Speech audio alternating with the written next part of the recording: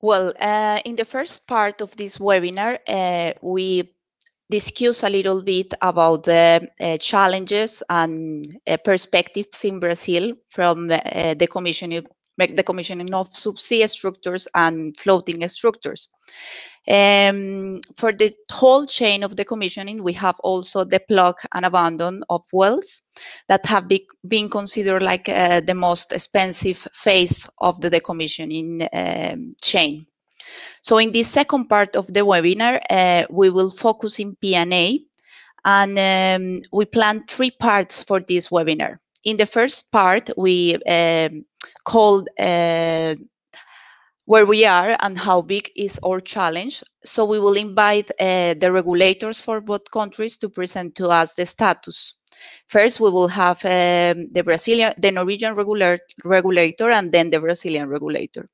Afterwards, we uh, will have a second session that is um, related with how uh, oil companies are overcoming current challenges in P&A. And we will have a short presentation from NORCE, uh, a presentation for um, um, Equinor, uh, Norway, and a presentation from Repsol in Brazil. And to close the webinar, we will have a couple of presentations from the University of Stavanger and from uh, SINTEF, uh, where they are going to present new projects uh, that have uh, involvement of both countries that are starting uh, this year um, and they are going to present to us what are the goals and what is the objective uh, with this cooperation with Brazil. so to start, um, well, before uh, inviting uh, Nina, I would like to uh, so say to everyone, everyone that we will have an option to receive your questions in the comments, and we will have half hour uh, after the complete set of presentations to answer your questions. So first, I would like to invite Nina uh, Ringen. She is the um, uh, representative of the Petroleum Safety Authority in Norway. so welcome, Nina and the public it is with you. Thank you very much. Um, I'll try to share my screen with you.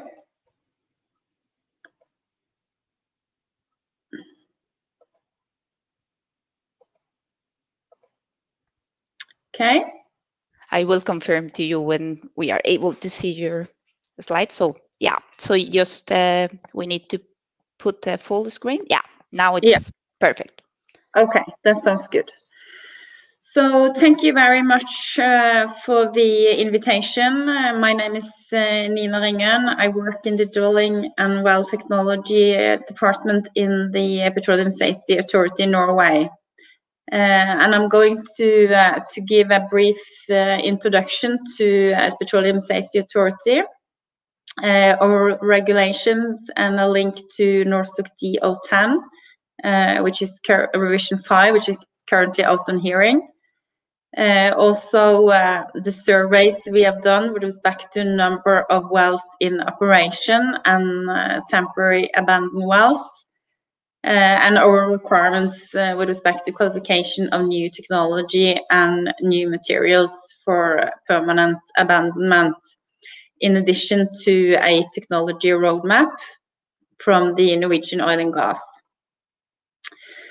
So, uh, the Petroleum Safety Authority in Norway, we have been a safety regulator since uh, 1973.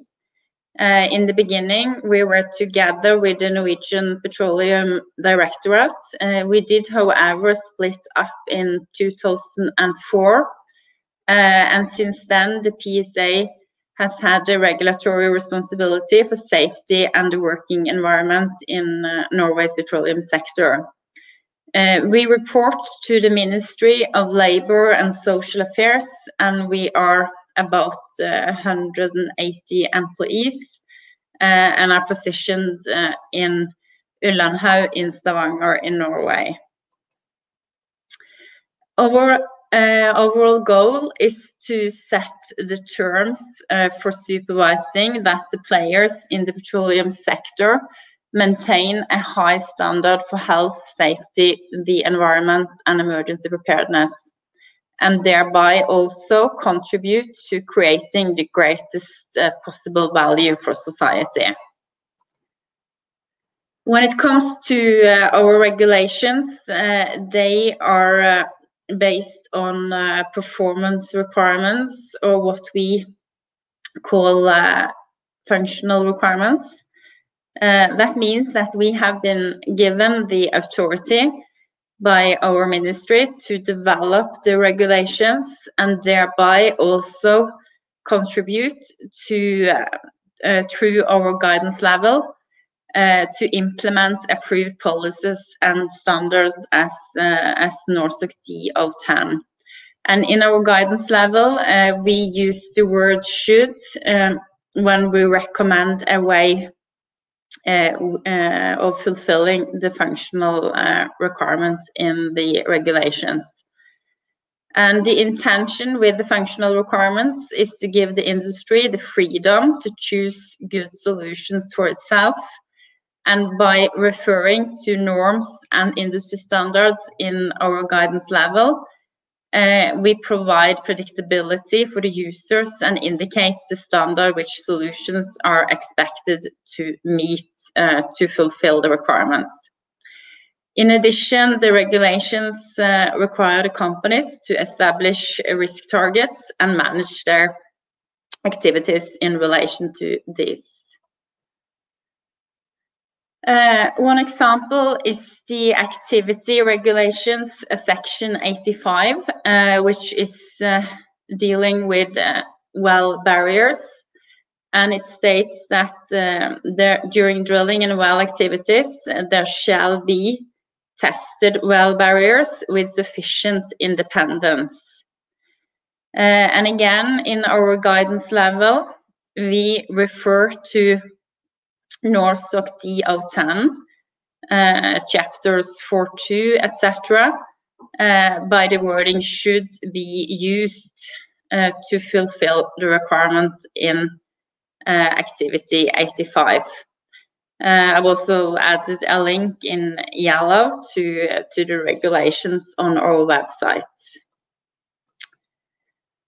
When it comes to to the the reference in the guidance level to NORSOK D010, this is uh, a very busy slide. It's uh, a draft version of the new revision of NORSOK D010, the revision 5, uh, and the table 1, which is related to, to valve barriers and uh, activity regulations, uh, section 85. Uh, as you might see, the table is uh, is a lot of uh, there's a lot of details, uh, but still the minimum number of barriers is said to be uh, operating with two defined barriers against overpressure and flow potential. Uh, the table is divided into normal pressure, overpressure, and different sources of inflow, in addition to minimum number of valve barriers. Uh, in this webinar, we are focusing on, uh, on the permanent plugging and abandonment. Um, for a reservoir, there are still uh, the requirement for two barriers.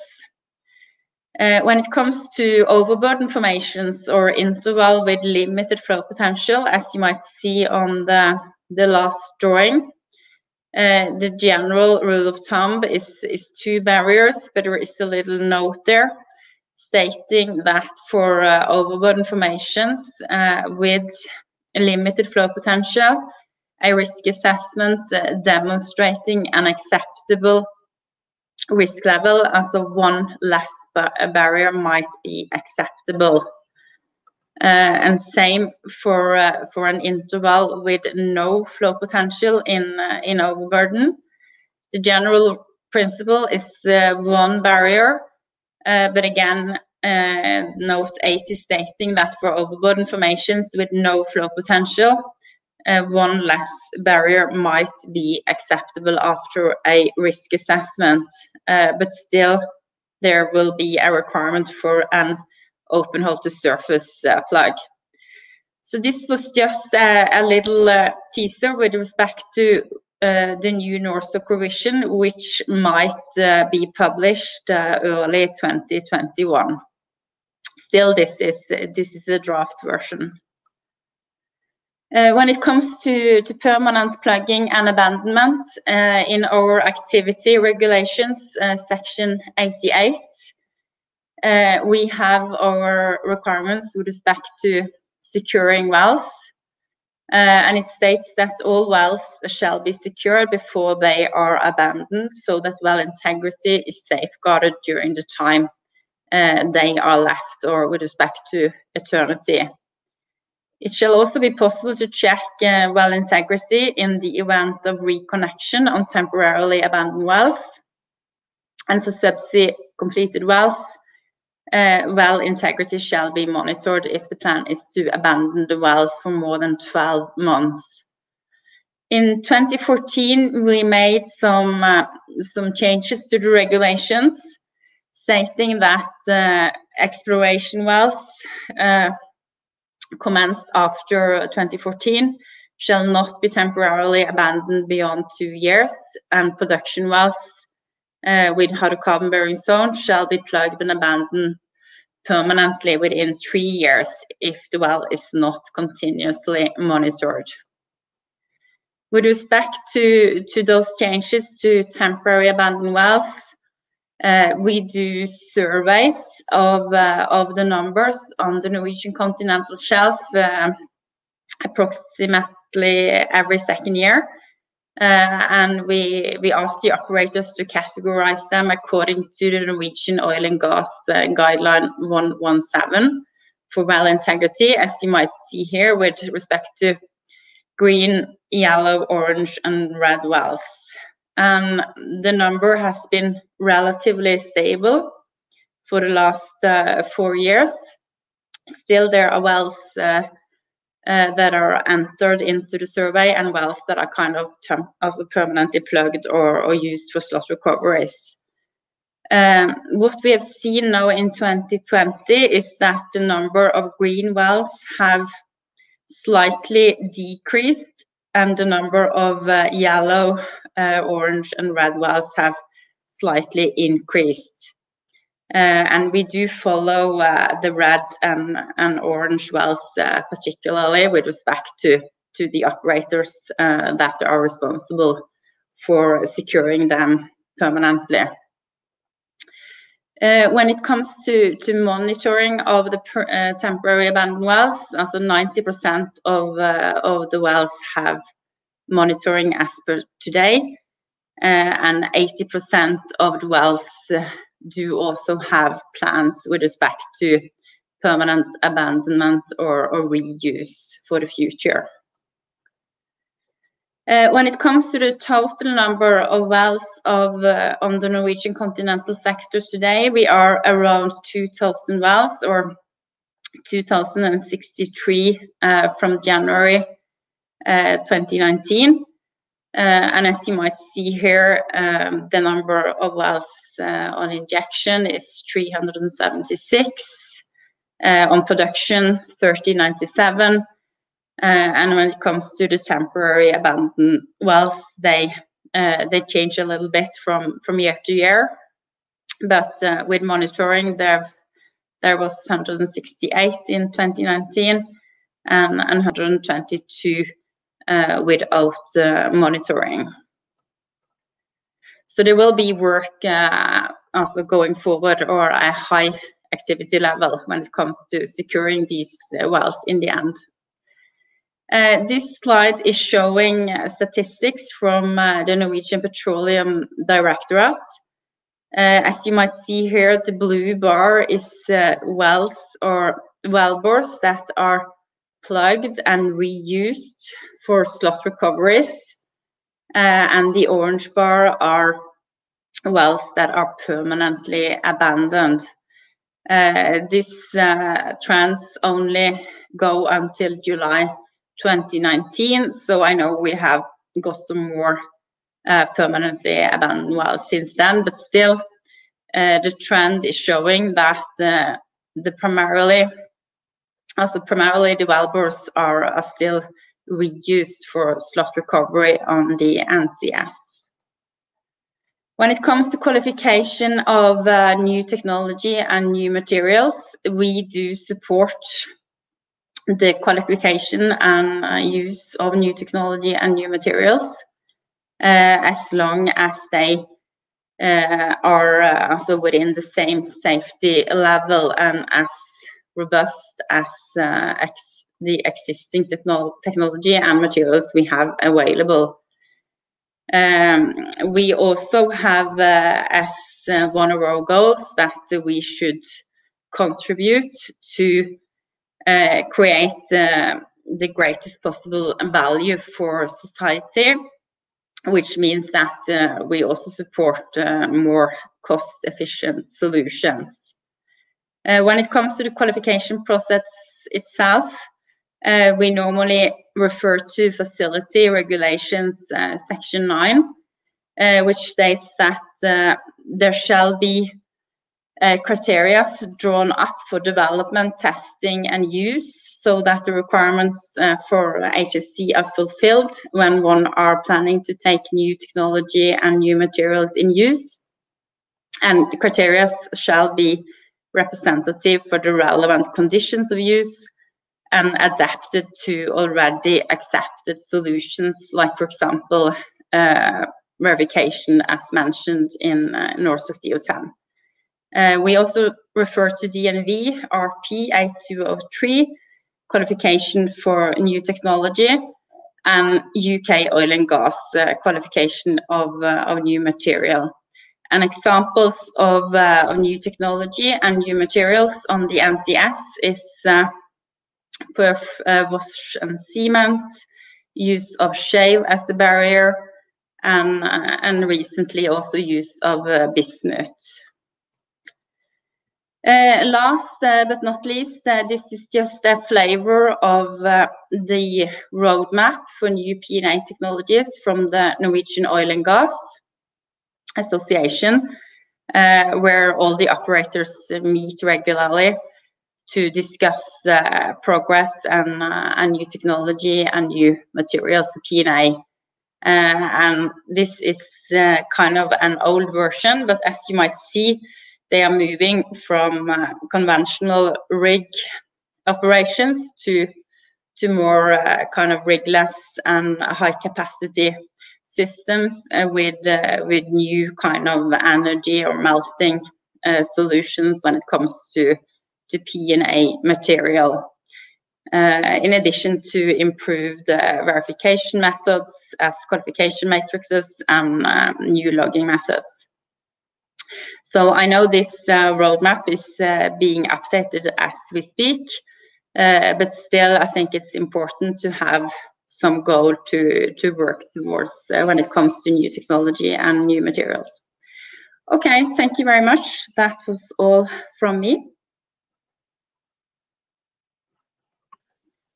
Uh, thank you, Nina, so much for your presentation. Um, we will have probably some questions later on. So now I would like to invite your counterpart in Brazil, uh, that is Mariana França from the Brazilian Agency of Petroleum.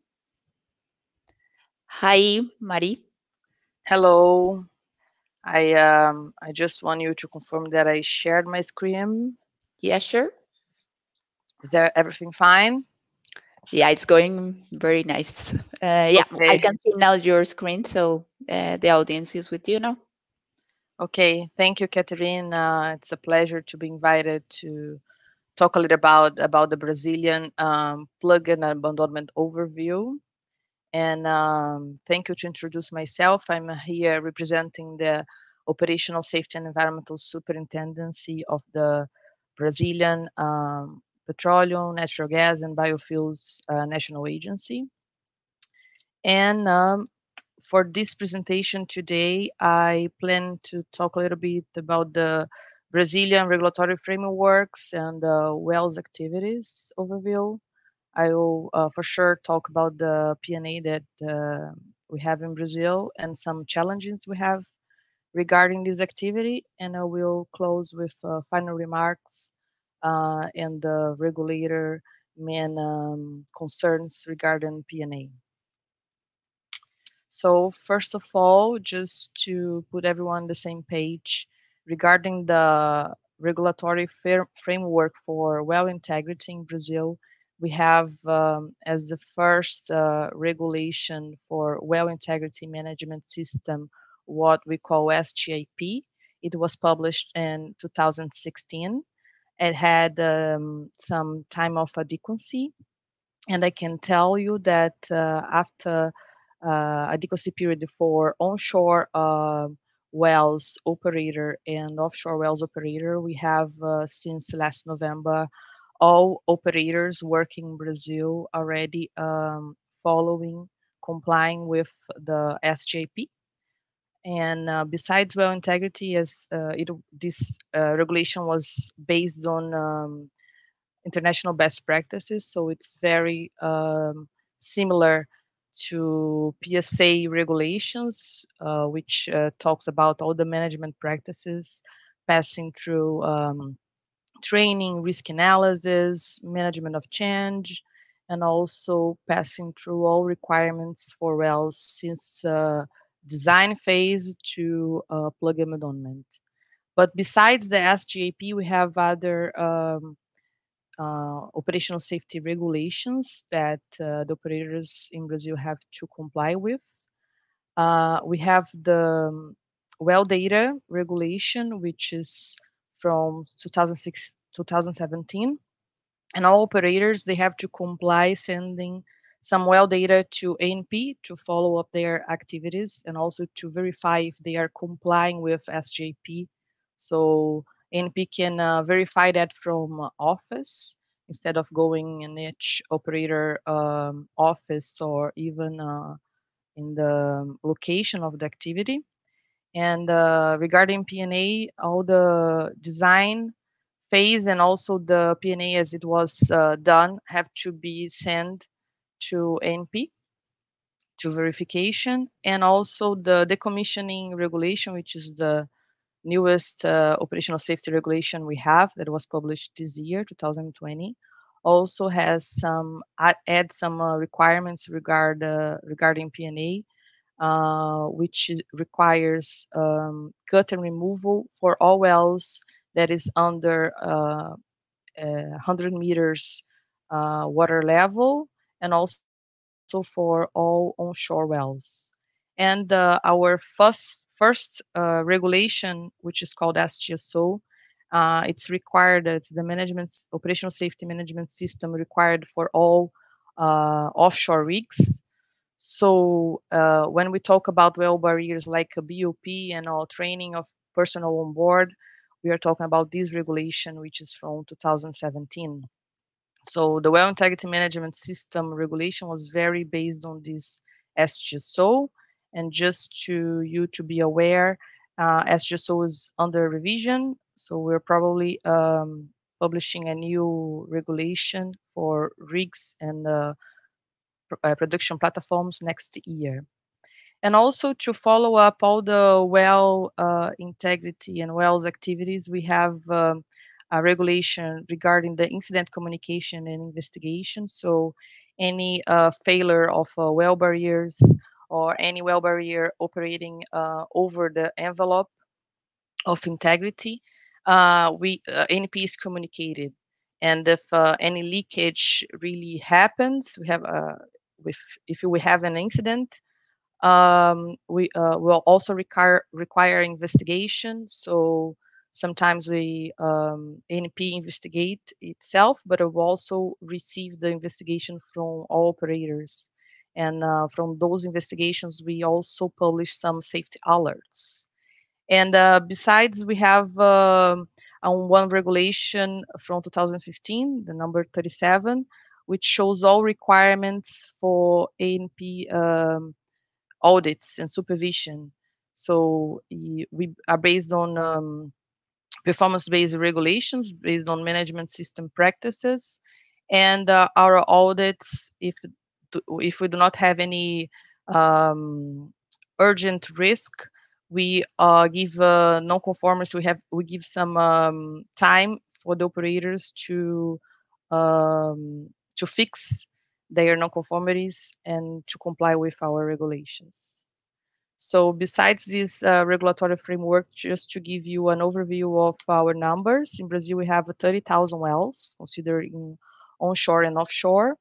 From those 30,000, have 7,000 uh, offshore wells, and 20% of those wells are uh, in production. right now, we have 11 offshore oil operators and much more in onshore, 30, 33 onshore oil operators. Uh, we are passing through uh, Petrobras disinvestment, so especially onshore and in shallow waters, Petrobras are selling their assets for other several operators. And uh, for offshore, uh, for those 11 offshore oil operators, we have nine rig contractors operating, but the majority working for Petrobras.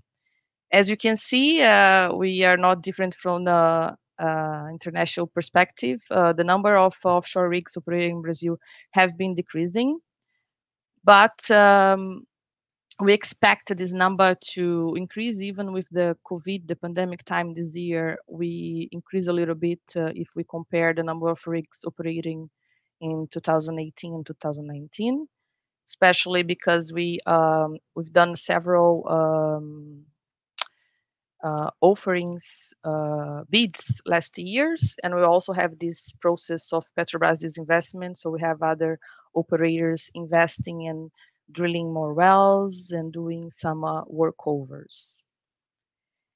So just to have a view for drilling, uh, we I'm showing here um, number of wells per semester per, per year.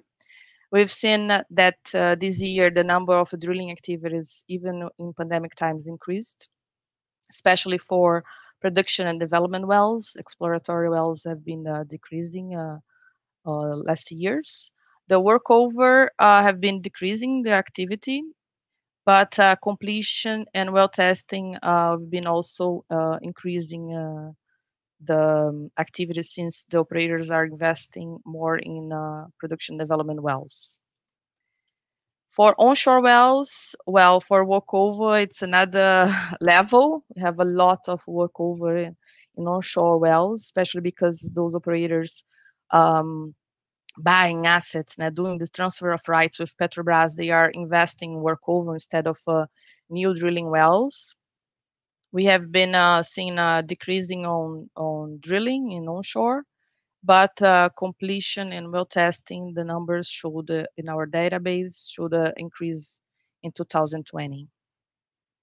But regarding uh, P&A, we've seen uh, a decrease on permanent P&A last two years, but in 2020, we maybe from um, uh, regulatory, the new regulation SGIP consequence, we've seen uh, the operators uh, doing the permanent P&A last years, but uh, this this graph shows just really P&A activities because if you consider as the main uh, activity workover, drilling, completion, and well testing, we also have the P&A at the end of those activities in some cases. So here you can see the main activity in green and when we have the P&A in blue for 2020. And when we talk about well status, every month, every uh, month up to the 15th uh, day, we receive all those, all Brazilian wells status. So if the well is not permanent abandonment, the operator have uh, to update ANP every month of the real well status. Um, and we can see that uh, in Brazil, if we consider the light blue color, the pink and the purple, we are have a lot of uh, temporary abandonment wells, wells that are waiting for a permanent uh, P&A. Regarding the time, the average time of uh, P&A uh, activities, uh, considering those that operator go there, go to the well just to permanent P&A. We have an average of 36 days for offshore P&A and uh, 18 days for onshore.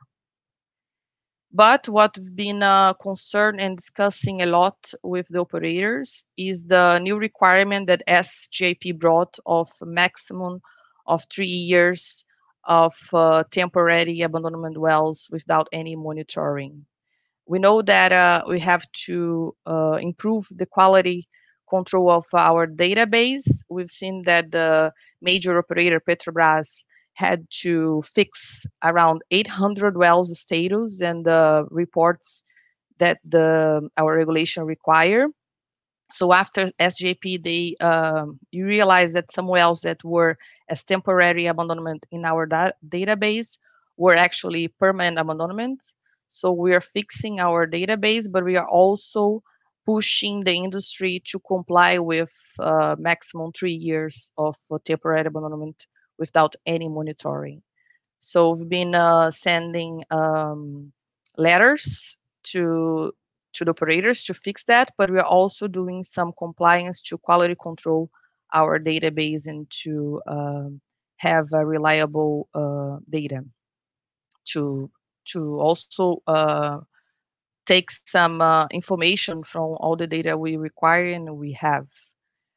Also, uh, since ANP is not a um, really old agency, uh, it's just from 1998, and we have several wells that were drilled and uh, produced before 1998. We have several wells that in the past were assigned for water abstraction. They were originally oil and gas wells, and they were um, passed through to other activities. And uh, since the original purpose of those wells were for oil and gas, ANP is also pushing the uh, original operators to P&A uh, those wells and to have a reliable database. Sorry. So as I mentioned uh, throughout my um, presentation, we are working hard to have a reliable database and we have also to uh, push the operators to first fix their own database and um, afterwards give us uh, reliable data to have the reliable uh, overview of wells in Brazil. Also, in the last years, we've seen that uh, permanent P&A was not the priority um, they were uh, putting a lot of wells in temporary abandonment, especially without any monitoring. And we're also pushing the industry to um, have technologies to monitor those wells. So we also facilitate all this intense uh, flow that we have of transfer of rights. So Petrobras is uh, uh focusing uh, in the main um, the main uh, fields and blocks they have, especially uh, pre-salt and offshore. And we have uh, new operators uh, coming from for those uh, new as for those uh, shallow water and onshore assets, and they have SGIP to comply with.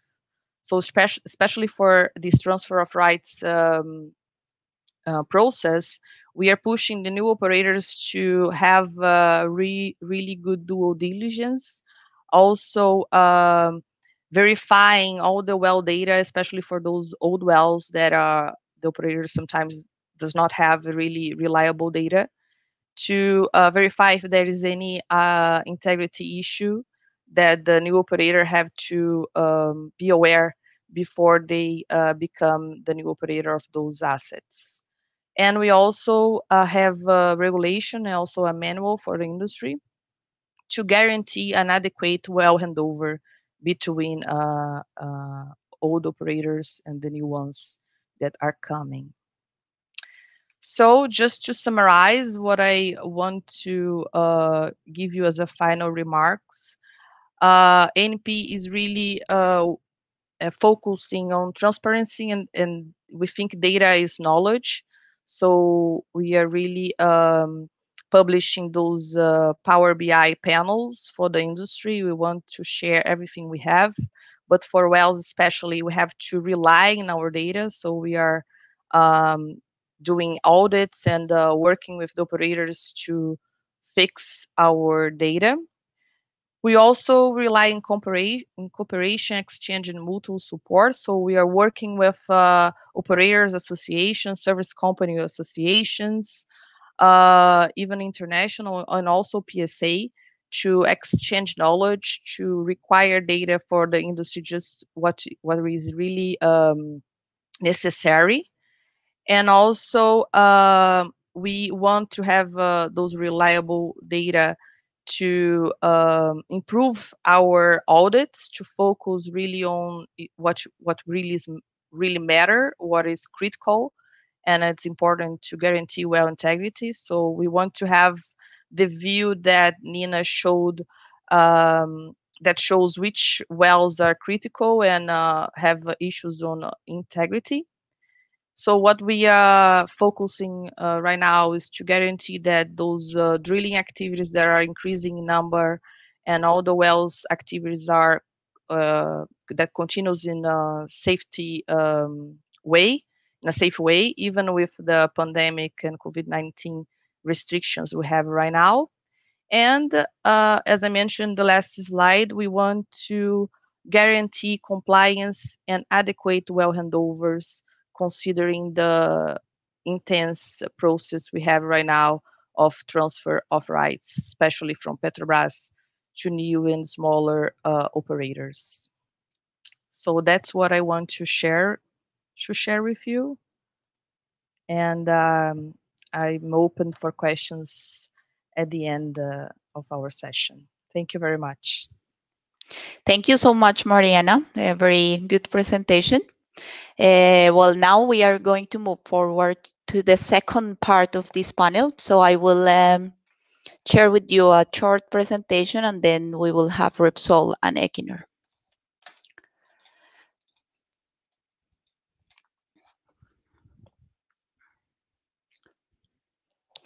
Okay, so um, well, my name is Catherine Beltran. I work at NORCE as a research scientist. And here we have a, a program that we call the P&A Innovation Program. Uh, that is a program to accelerate the development of technology for, for P&A. Uh, so uh, this is more my personal overview. Um, I would like to highlight that uh, currently we have 100% of the wells in Brazil or Norway. We have 100% of cement in the annulus uh, behind the casing strings. Um, and also that uh, it's quite common to have integrity problems as Nina uh, present uh, in the in the Norwegian uh, statistics. So uh, this 40 and 50 percent uh, number it's of wells around the world. so 40 between 40 and 50 percent of the wells have integrity issues. That means that you see fluids or you see gas that is on the wellhead.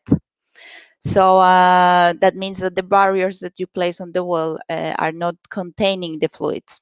So when we talk about barriers and two barriers, uh, we are talking about different uh, elements. We have the internal plugs that we place, we have the uh, casings, we have the annular cement, and we have the formation.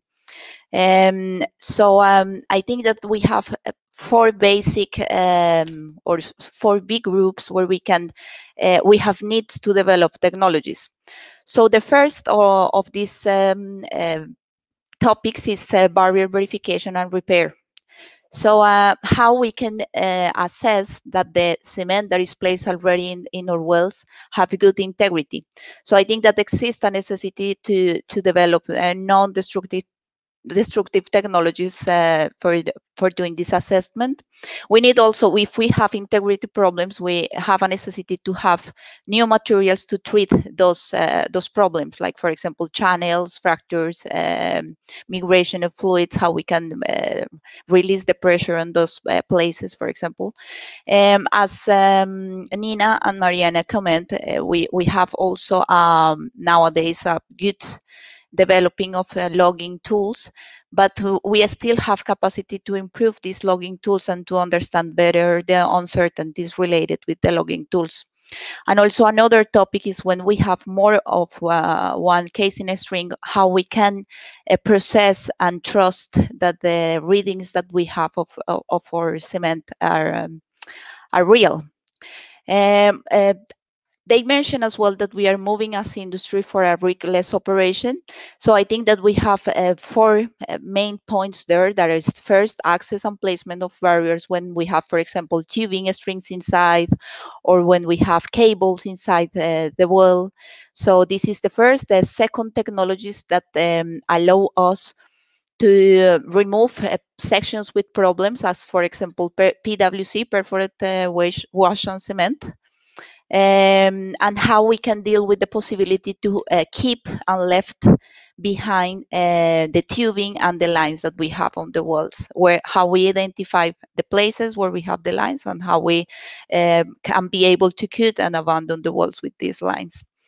Uh, I think that the, another big topic is materials, um, but we have to deal now as an industry in these 9,000 wells that Marianne and Nina mentioned that we have cement.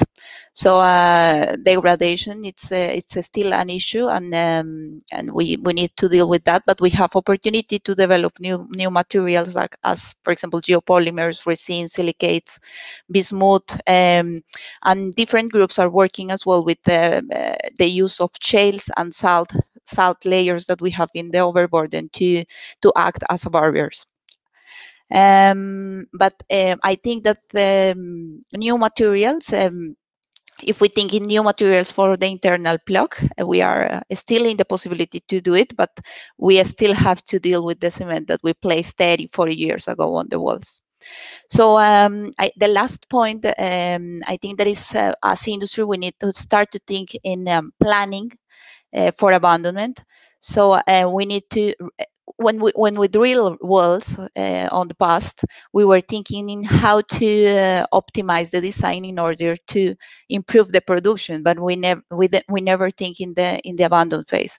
So I think that we have an opportunity as industry to to uh, redesign our wells for abandon and, uh, for example, have a better idea of where we can place our barriers, and also long-term monitoring, as uh, as Marianne and Nina show. So uh, just um, short comments about the program that we have here uh, at NORCE in Stavanger. So uh, we have been working since 2012 um, in research in P&A. Uh, we have several papers um, um, where we present our full scale experiments, uh, the, the, experiments that we did between 2012 and 2018. But I think that the most representatives are uh, um, these four. So we have experience with leakage testing of um, pipes where we uh, have the tubing inside and we cement everything and we uh, compare where were the leakage rates when we have um, the tubing and when we re remove the tubing. Um, we have a lot of uh, research as well in technologies for barrier evaluation, mostly logging. Um, we have some uh, um, experience with uh, cementing in irregular wellbores. So, for example, when we have washouts or different geometries inside the wall. Uh, and also we have research with the risk assessment of P&A walls. So some of our facilities, uh, we have a, a full-scale offshore uh, drilling rig that can be skid to have access access for uh, eight wells, and we have our one well that is fully dedicated to P&A activities when we can place materials uh, and recover these sections to analyze how was the, the placement of these materials. Um, we have also um, mixing and cementing uh, unit uh, and pumpings to reproduce offshore facilities so we can test um, uh, simulating real conditions. Um, well, as I mentioned, we have the P&A innovation program that was actually started in 2018 and we are focused in um, help operators and service companies to prove uh, P&A technology and to accelerate the final introduction of this technology on uh, real operations. So uh, this program, um, in this program, we have um, six uh, main projects. Uh, and we are working close to five operators. We have uh, Aker BP, that is a Norwegian operator, that is um, an operator quite, um, I think that one of the operators that is uh, leading the technology development uh, of new solutions. We have ConocoPhillips um, in Norway as well. They are working uh, in different areas. Uh, I think that logging is one of the strongest areas that they have um, uh, working on. We have um, um Total in Norway as well. Um, and we have close cooperation with Total in Brazil. Um, I think that they they are um, uh, quite interested as well in logging and verification and uh, uh, trying to challenge a little bit how we can um, we can abandon with tubing and lines. Uh, we have as well Shell, uh, the operations in uh, the operator in, in the Netherlands.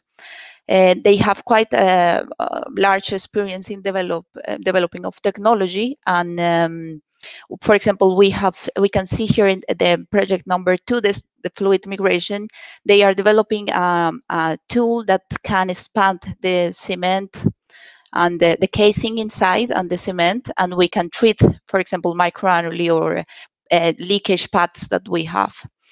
Um, we have also the Petroleum Safety Authority, that means the Norwegian regulator that is working close to us to follow up all the developing that we are uh, working on. And we have Petrobras that uh, uh as part of us or, or group. Um, and I think that for Petrobras, um, it they are they are quite interested in uh, move forward forward with the light interventions and open sea abandon. Um, so for our um, portfolio, uh, uh the first project is more uh, we call Valhall sandwich sections. As as I mentioned, 100% of the walls have cement in the annular space. So one of these operators, they donate um, some sections that were recovered from a well 30 years old and we did several analyses of leakage, durability. Uh, we have seven papers that were published related with this uh, work. In fluid migration modeling and treatment, uh, we are uh, trying to understand the flow paths, the typical um, problems of integrity that we have, and we can how we can treat um, those um, issues uh, that can be with fluids or, as resins or it can be with mechanical tools for example uh, as that one that i previously mentioned. Uh, we have the full scale P&A test so we have uh, the rig and seven wells as i mentioned and one well that is fully dedicated to P&A activities. And we have um, we are finishing the construction of um, a cell 10 meters long to test different materials for P&A in verification of P&A barriers, we work with different several institutions in uh, service companies uh, that work with logs, um, dense, uh, sonic log, um, noise logs, several uh, several technologies. Um, as pre or, or, previous program uh, between 2012 and 2018, we, we continue with this risk standard uh, acceptance criteria, and we have close in this specific project. With we have close collaboration with with Brazilian institutions. Um, so we we are trying to understand what are the risks associated with the current status of all our wells, and what is the probability to have leakage on those wells. Um, and the last uh, project that we have uh, is rigless P&A. So in that one, we uh, we are um, covering uh, PWC, perfora perfora perforation, washing, and cementing uh, operations. Uh, we have also um, tubing left in hole, and we have control lines, experimental work related with the with the improving of these these technologies so that was the thing that i will i was planning to share with with you. If you want more information about our activities or if you have any solution that we can help you to develop this is my my contact. So um, i would like to invite then um, uh, one of the operators to share with us um, one of the operators that is not part of our program to share with us uh, the, their status and their uh, development in technologies. So I would like to invite the first the Brazilian operator. I would like to invite Joao Gualdini from Repsol. Hello, Catherine. Just a second, let me share my screen here. So I hope that I did a, a kind of okay uh, overview of the no, it was challenges that we have, and we can uh, discuss further more specific details. Just a second.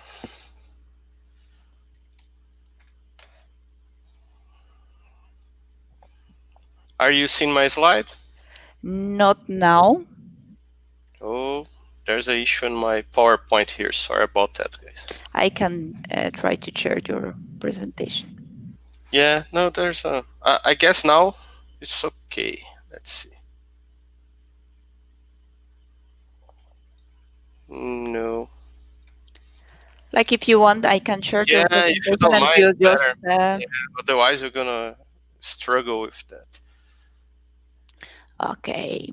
Um, Just a second. Yes.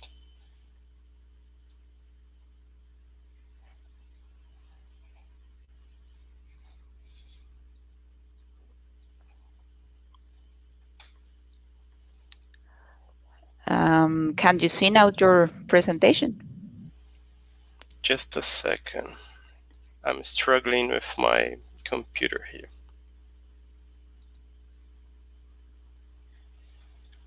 Yeah, there was a crash in a, in my in my PowerPoint. I think that So now I, I, am I need to able open to. again. I, I think that I am sharing. that. Don't worry. I'm sharing, so if you want, I can we can start and you can just uh, tell me when we can move. Just a second.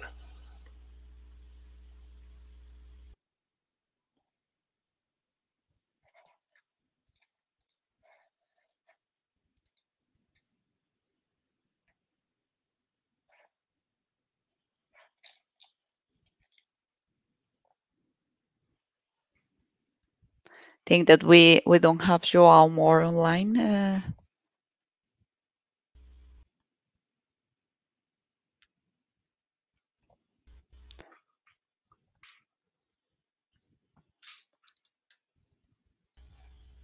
he is back. Yeah, sorry about that. That was a, a crash on my PowerPoint here. So Don't can worry. you put a can you put a, the the the presentation again? Yep, sure. Okay, so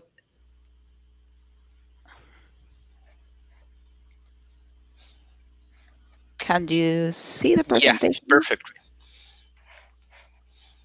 All right. Excellent. Are you have control or not? And no, I need to Okay. move your slides. All right. oh, How no, are you please. have control? I'm not sure.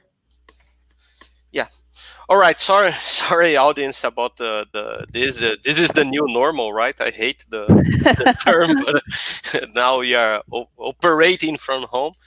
So it's a pleasure to to be invited to to this event. Uh, it's always good to be close to Norwegians. Uh, they are very good on on uh, on R and D and innovation. So it's uh, it's always a pleasure to to be part of this kind of event. So Catherine, please go the next one.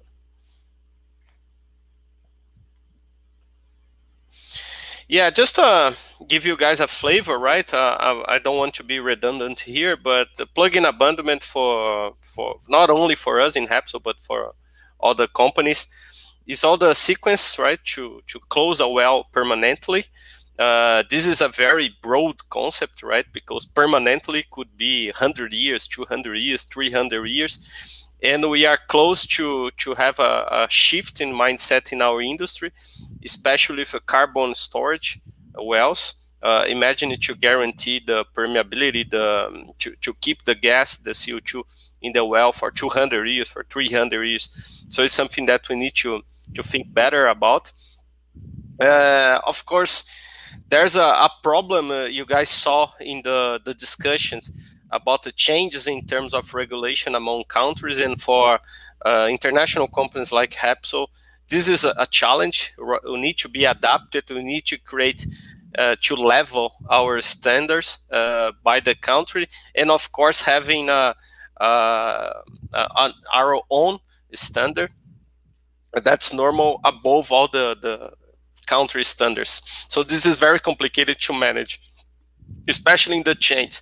You guys saw the the change on NORSOK D10 revision five. We are anxious to see then there are a lot of uh, uh, change to happen and of course we need to adapt and uh, the main challenge uh, pna is a complex operation because normally we are dealing with old stuffs old wells old subsea equipment we have potential for environment environment damage and of course uh, dealing with old stuff is, is always challenge, is very complicated. Sometimes we struggle with a subsea access. We cannot open the master one valve out of the Christmas tree and the, the whole P&A will be jeopardized by that, right? So that's our reality on P&A. Please go to the next one. Yeah, uh, regarding that mention that I did regarding the chains, uh, we have been seeing some movements around the world uh, regarding the the the fugitive right uh, uh, emissions. Methane is the the best example, and of course, uh, in our industry, this kind of pressure from stakeholders has potential to change everything in the industry. we need to reevaluate the the typical solution, right? The Portland cement casing and bridge plug, uh, and, and try to find something that is more reliable, especially uh, if you revisit, right, or re try to understand what is permeability in our industry. So you're not escaping from this discussion, but we need to think as a whole, as a, as a community, how to, to deal with this kind of obligation if uh, this change. We know that NORSOK uh, has been thinking on that, uh, trying to change, make changes on uh, barrier verification, and of course we need to adapt. And we count on the the academia, the supply chain to help us to to fulfill the the new requirements. The next one, please. Just just giving a flavor about uh, what is P&A for Repsol, but uh, as I don't know if the numbers are good to see, but the majority of the costs that we have uh, in decommissioning in Repsol will be related to to wells, to P&A. So it's a 76% in uh, in Brazil, which is huge, right? We have uh, in Brazil Sapinhoá Albacora Leste, Lapa, and uh, existing, uh, and we have a lot of things to be developed, so the number uh, you increase. And uh, in the world, we are talking about 52%. And remember that Repsol has as a, a, a broad coverage uh, in the world. We have land wells, we have uh, subsea, we have shallow water, we have a lot of developments in 25 countries. So it's a is the majority of the cost to be related to P&A. So no doubt, but this is a very hot topic for us. The next one, please. So the the dilemma that we face, right, on on P&A, this is is a very complicated, and somehow we are stuck in on that.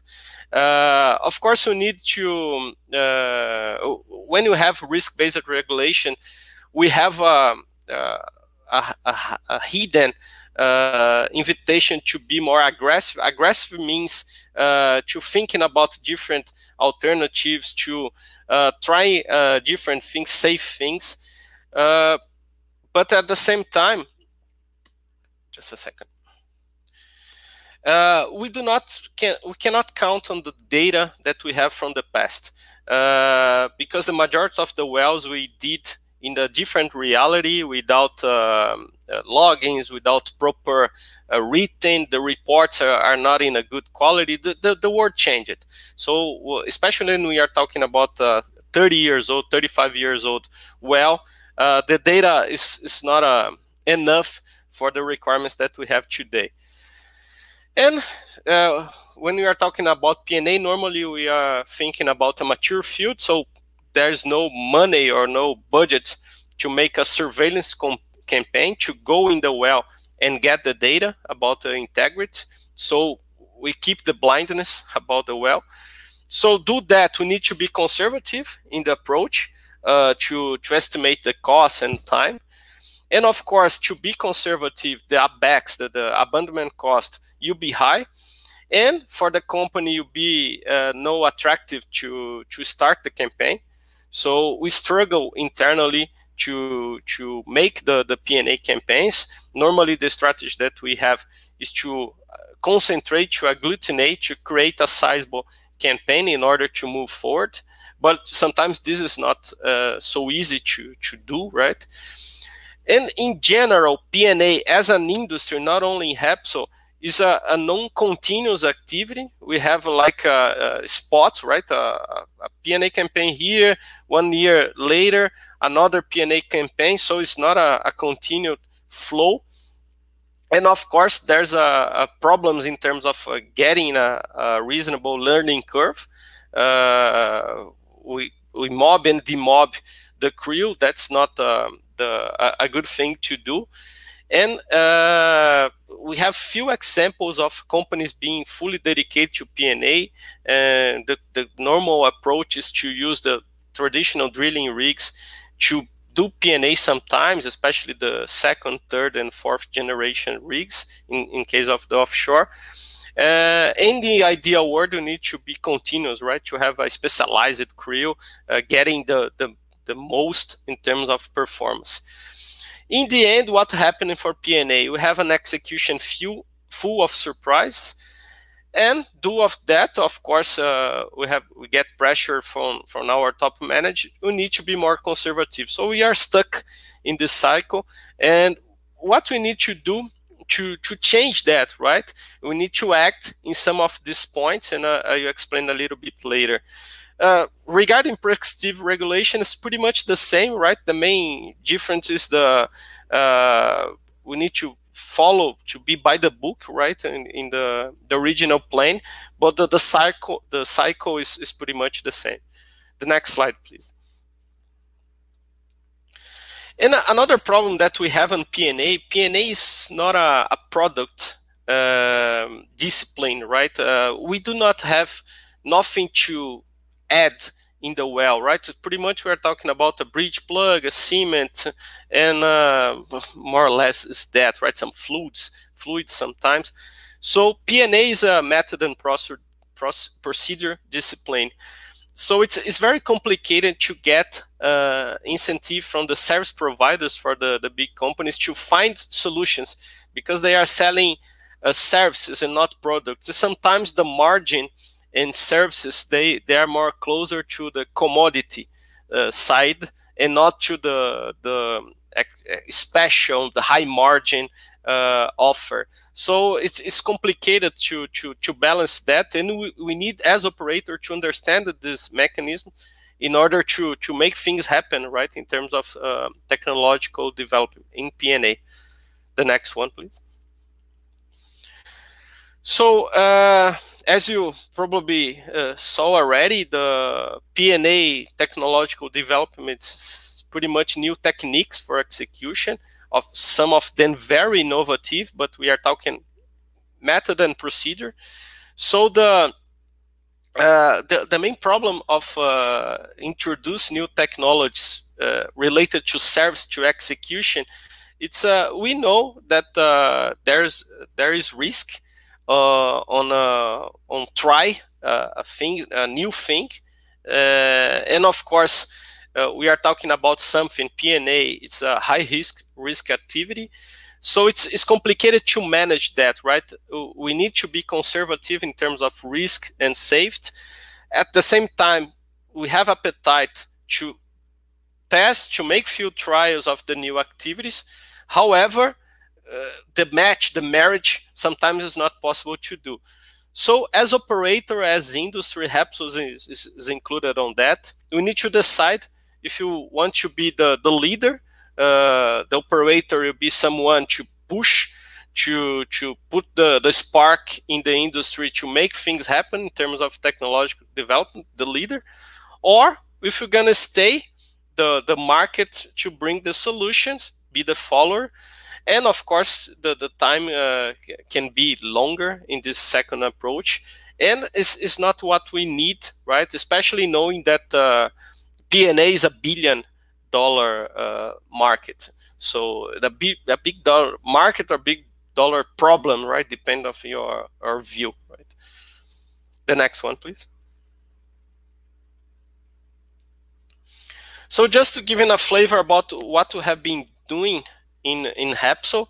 Uh, we play a little bit uh, on being a follower or being the leader. Uh, we, we, have two hats. Some, sometimes we, stimulate market. Sometimes try to be the the, the pioneer. So we have a it was already mentioned, uh, the salt and shale creeping um, it is a possibility that we have been studying because it's like a natural cap rock. Uh, the permeability is extremely low, so the potential is very good. And of course, it's natural. There's no need to, to put anything artificial, pretty much just to leave the salt and shale to, to fill the cavity and become the seal. So this is, has potential to replace the cement Portland in some specific applications. Uh, we have been also a project related to, to get data in advance. Remember that I mentioned that we are stuck uh, and we do not normally have budget to make a surveillance campaign.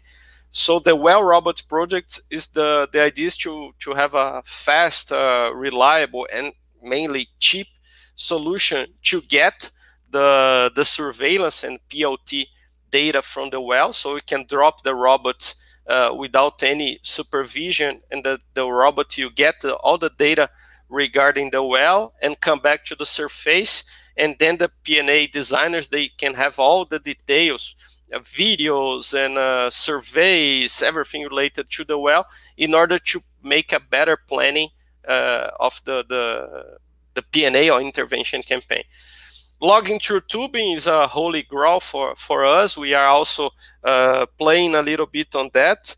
Uh, of course, the, the potential to save costs is, is enormous. In, uh, if we are able to, to evaluate the cement without removing the production tubing. So we have been working with Ouro Negro and PUC on that. And uh, the Ariel project is the idea um, that dimension that I, did about the future, right? How to to control uh, and evaluate the size of a, leakage if the leakage happen. So Ariel is a is autonomous vessel, a big one, five meters a vessel, combined with a drone. So the the the vessel can sail in a de, uh, defined region to evaluate if some uh, oil or some contamination is happening in the seabed. The drone can be used together, combined to have a, a view and evaluate what's happening, and uh, and then uh, call the, the shore to get the, the proper results, the, the proper research to to fill the, the leakage. And also we have a well test uh, pilot in Natal, in uh, Rio Grande do Norte state, to to make all the to play right as a playground for P&A engineers like myself, so we can uh, dive our our um, um, our robot and, and make all the tests in our in controlled environment. So Catherine, go back to the slide. Something happened. No, further. That one with the with the project. Yeah. Another one more. Yeah. So the, the, the last picture is the, the, the test well that we have in Rio Grande do Norte state together with GeoAlex. Next one, please. And uh, the questions that uh, uh, we have been trying to to attack or to identify solutions uh, are related to, to that idea to streamline the subsea P&A execution and sometimes being follower or being leader. So we are focused on uh, reduce the uncertainties. So the idea of the robots, uh, digital tools, we need to play better with the data uh, and estimate costs better. We need to overcome problems of subsea access. So we need to have something to to easily uh, fix the problems when happen. Uh, we are open to discuss integrated scope to have um, that idea that I mentioned. We do not have a continuity uh, in the the execution of the P&A. I'm not only speaking by Repsol, but I'm speaking by industry. Maybe we need to have someone doing a, a continuous job on P&A. We, we need to have a dedicated uh, vessels and, and services toolbox for P&A. we need to thinking about scope simplification. Uh, touched on that. Is, is everything aligned? Rigless operation to reduce cost, logging through tubing, through tubing, perf wash and cement, plasma section milling, play a little bit with different alternatives. Let's melt down everything and open a rock to rock window to put the, the, the cement barrier. Self-abandonment well, imagine it you just play a button and everything will melt down in the well and uh, and the thermite you, you and bismuth you make a, a, a, barrier without no necessity of a rig. That is a kind of dream that we have here. Bismuth and thermite plugs. Remember that i mentioned that problem related to the to the permeability of portland cement especially for carbon storage maybe alternative materials are the answer increase of efficiency, reliability. Uh, Portland cement is something that we need to, to thinking about, especially in the environments like we have here in Brazil with high CO2, high H2S, the hydration, uh, carbonation is a problem in, uh, in long term. Sour cement, as I mentioned, high efficiency cutting tools. We need to, to be more efficient on P&A, sometimes to overcome problems, sometimes to be efficient uh, as a standard we need to have better solutions for section milling, to swarf uh, treatment. So uh, it's, it's part of uh, our whole is R&D and uh, innovation uh, to be focused and, and try to look for this kind of, of alternatives to reduce P&A. P&A is a, is a mature, a mature market, it's a vast market with a lot of potential. Uh, but we need to evolve, and we count on uh, universities and uh, service companies to, to progress on that. We need to, to save costs. Uh, that's it. Thank you very much for the, the opportunity, and I'm open for questions in the end. Sorry for the problems again. I am so happy to see a P&A engineer that is so motivated to talk about this topic that for several years was like the topic that no one want to talk about. So it's uh, it's very nice to see a person that is motivated to develop and move forward with this uh, sector of our industry. Too much motivated sometimes is a is meaning for a dummy, right? But that's not the question. not the, no, but, uh, uh, being honest, we need to solve this problem, right? It's, it's a critical one. Is is not related to the energy transition. If you decide to shut down all the wells, we still need to to close the wells to make the P&A. Yeah, yeah, exactly. So thank you so much, Joao. I will uh, be back with you with the and with the Steinar uh, during the Q&A part. And now I would like to invite the Steinar Storm from Equinor. Yeah, hello there. Hello, Steinar. So um, can you please uh, share your screen? Yeah, um, I'll try that. Um, can you see it? I think that um,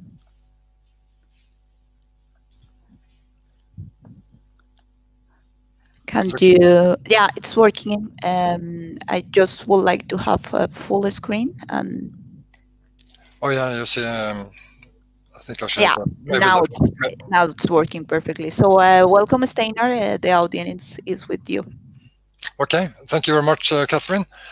Uh, well, um, my intention is to give you a brief um, background in Equinor on uh, the, the, challenges as we see it and um, the experience we got and uh, also some technology stuff in the end.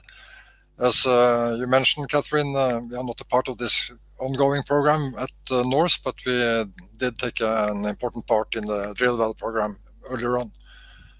So, um, starting with the current challenges uh, as we see it, um, we do um, I kind of cover both permanent P&A and slot recovery here because um, we the, sorry, Steinar, I think that the, they are not able to see now your presentation, so uh, I will just okay. ask you to try again. Yeah, let's see now. How do I stop this?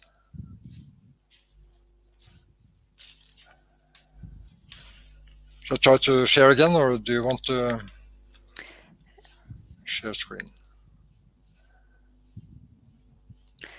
That's I would like to ask for our IT support uh, to share the presentation, uh, your presentation. can you see and the screen now? you can um, I would like to ask for the audience to inform us if you are able to see your, the presentation uh, now. Says uh, that I'm sharing here, but uh, can you see it?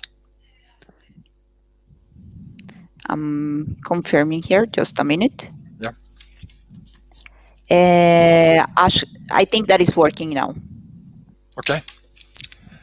Uh, thank you very much. Um, Sorry Uh, for the interruption. Uh, Oh, that's fine.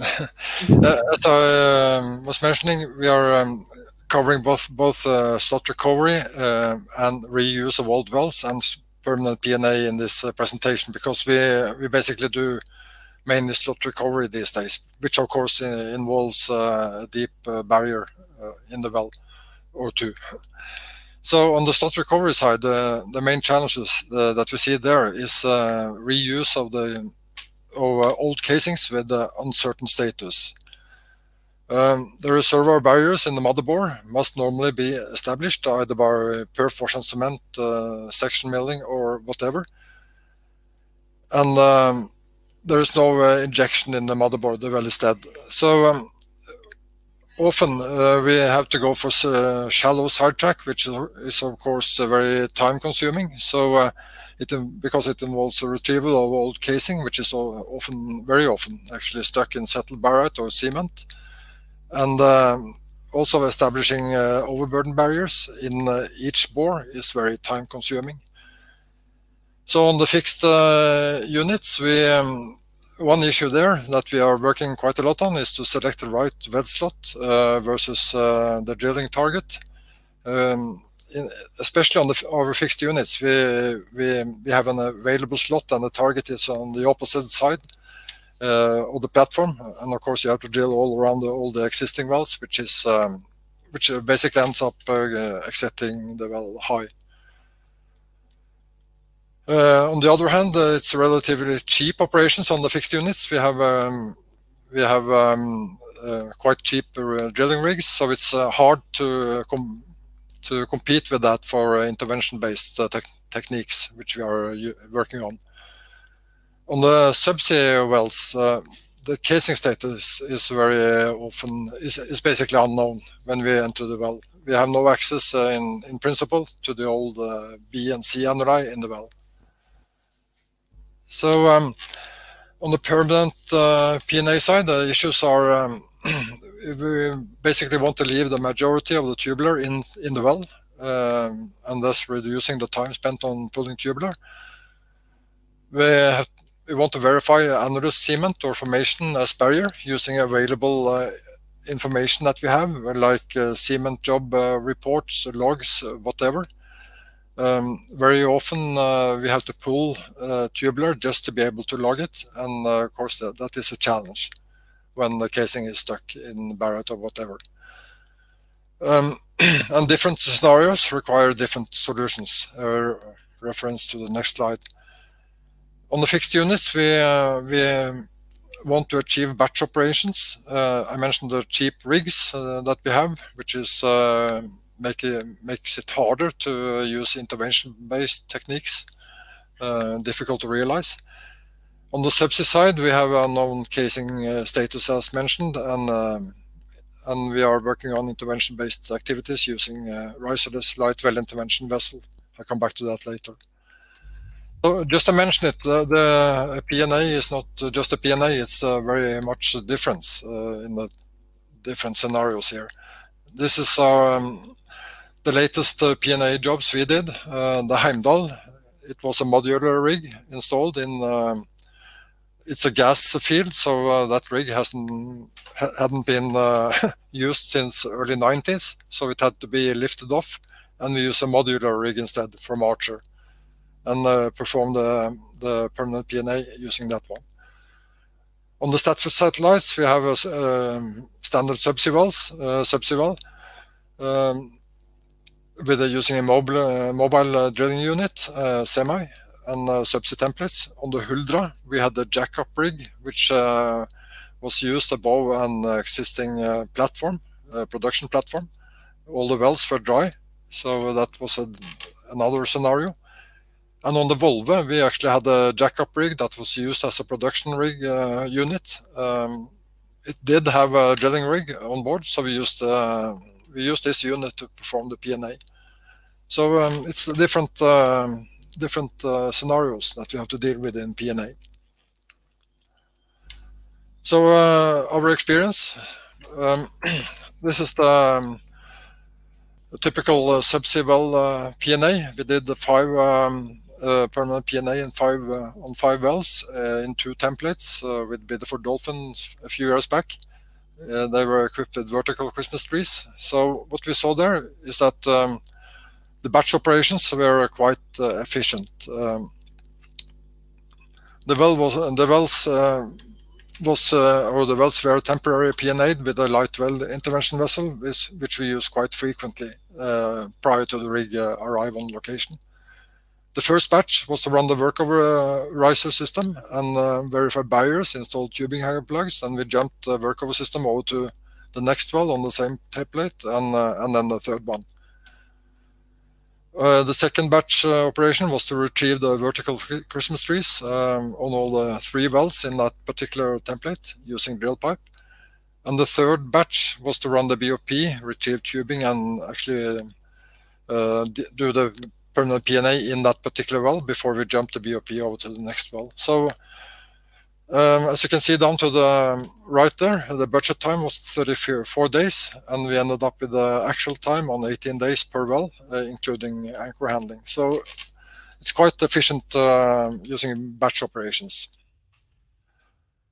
Well, this is basically the same um, uh, the Volve uh, project was kind of different. It, as I mentioned, it was uh, the jackup rig Maersk Inspirer that was used uh, also as a production unit, and it did have um, production riser installed on the wells. So the the purpose was to do, to perform the P&A through the production riser. Thus, uh, so we didn't have to um, change over to a drilling riser, which which is quite time consuming.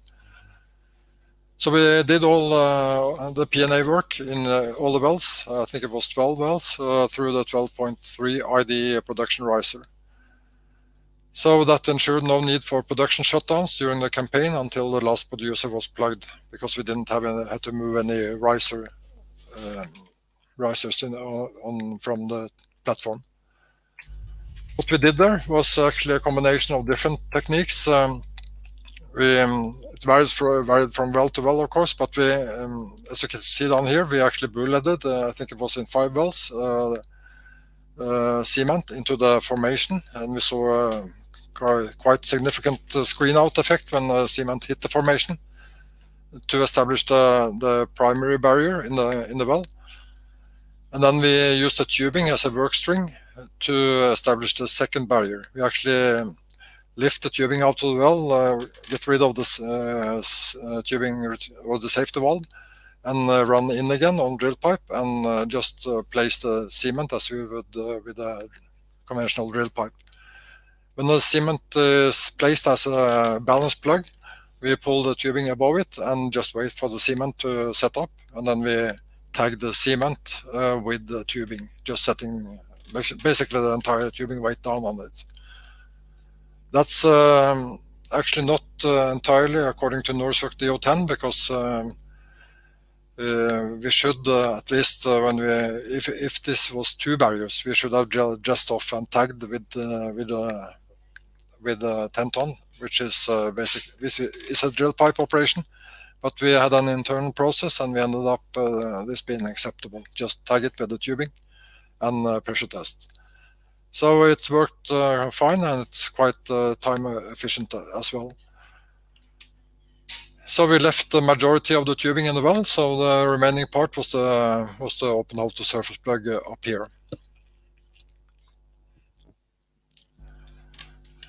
When we uh, matured this uh, Volve project, we started off with uh, approximately 320 days um, uh, for the all the wells. I don't uh, actually recall the exact number, but I think it was 12, uh, 12 wells on Volve. But after maturing it through DG2 and DG3, we ended up with 129 days for the for the P&A operation. So um, as was mentioned by Repsol uh, earlier, it's very important that we set up campaigns and uh, and do a thorough work uh, upfront if you do if you do a P&A on a single well, that uh, that we, we rarely see that to be efficient. Yeah, so the average um, budget days was 17.2, and we ended up with 14 days uh, actual per well. On the technology side, um, we are working on different uh, things, but uh, one uh, very hot uh, topic now is through tubing logging, where the idea is to actually run the logging tool through uh, through the tubing and, and see the cement outside the production casing through the the packer fluid uh, in the annulus. So um, it has been uh, ongoing for a while. I know that several uh, other operators are working on similar things. Uh, we are working with Schlumberger, and the current uh, and uh, the logging tools themselves are not uh, very uh, new. It's uh, interpretation and uh, of the data that's uh, that's a new process. So um, actually, we are going to test this in one of the wells up on at NORCE. I'm not sure whether it's ongoing or due to start soon, but it will be logged. we will log a well with a with a known defect on the annulus, on the second annulus from the from the board. So and see how the effect is. And and if that uh, if that's okay we will uh, accept it to um, technology readiness level 4 as you can see down here. And it uh, is ready for uh, first use. We have run it uh, several times um, uh, earlier, um, where we are logged first through tubing, and then we have pulled the tubing and relogged um, the casing, and it's a fairly good match. But uh, this is machine learning, so we have to build the confidence in the, in the logging. Another uh, method that we use quite a lot is, is not very new uh, technology as such, but it's uh, put together in a new way. So, um, as I mentioned, we uh, very often pull uh, casing that is stuck in settled barite. So what we do then is to actually perforate um, um, if you have a casing inside another casing that's uh, stuck in settled barite, we perforate uh, the inner casing and wash away the barite. It's like a perforce and cement method, but uh, without the cementing part. So we've done this several times with quite good uh, experience. Uh, we perforated uh, up to 400 meters, um, and it it has prov proven to be a quite efficient method that we use uh, from time to time. Another project that's ongoing, it's not realized yet, but it's um, it's uh, you're working offline uh, without the drilling rig on a, one of our on a fixed platform. It's a Gullfaks field that's a candidate here.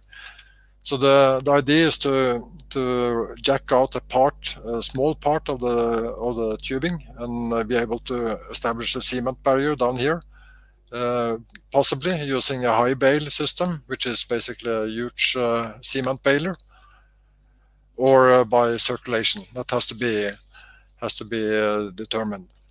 So uh, that's ongoing. It's um, not really um, accepted to move, move forward, but it's in um, um, kind of development phase. Um, we are also working on um, pulling tubing in open sea. Uh, that's uh, particularly for uh, slot recovery activities. Uh, if you have wells equipped with the horizontal trees, which we uh, have a lot of, um, we have to, uh, as you probably know, we have to land the BOP on the horizontal Christmas tree first, and then pull the tubing, log the casing, and then first then at that point you really know what you have to do in the well then we have to pull the BOP, uh, pull the tree, and then uh, re-land the BOP on the wellhead. So uh, the idea here is to actually, um, as I mentioned, we do pre-P&A regularly on very many subsea wells before the rig enters. So we just uh, add on to that pre-P&A activity which is setting a deep plug and kill the well, pulling tubing, and log the 958 inch casing. Um, a few months before the rig arrives. In the meantime there, an uh, inspection, maintenance and repair vessel will uh, um, pull the horizontal Christmas tree. So when, when the rig uh, arrives, it could land the BOP right on top of the wellhead and, and at that point they, they know what the status of the production casing and what they have to do in the well. Currently we have to line up several contingency op options uh, like uh, perforation cement or milling or whatever. So um, so it's um, it's a very much uh, planning. it will release or um, improve the planning part of the of the slot recovery. Another thing that we have quite uh, started to use quite a lot now is uh, listing tool. We um, it's a commercial product, so it's not any new um, technology as such. It, but uh, in Norway, it has it's quite new. So we have used uh, that quite a lot on uh, on uh, Gullfaks to um, basically for wells in operation to to find out whether it's uh, it's any movement of uh, fluids or gas or uh, behind the casing, and you can see through several casings. So um, and in the longer perspective, we might be able to use the same technology to qualify barriers. If you can see, uh, if you don't see any movement of fluids, if there is a pressure differential, there's good reason to believe that is no, that is a good barrier. But we are not at that uh, point yet. So the, uh, this slide here, or this picture, is from uh, a job that we did on uh, and X-Slot in the Balder Formation as you can see, uh, it's uh, quite good cement here, up here, and down here. But um, we pumped about uh, one and a half cubic meter in here per per cycle. So um, so um, and you can see that the noise here it uh, kind of concentrated to the to the area where the pure, cement is the the Balder we see we see uh, very often that in sandy formations or sand formation. Uh, we get a poor bonding on the on the log, but in this case we had good bonding up here and, and down here.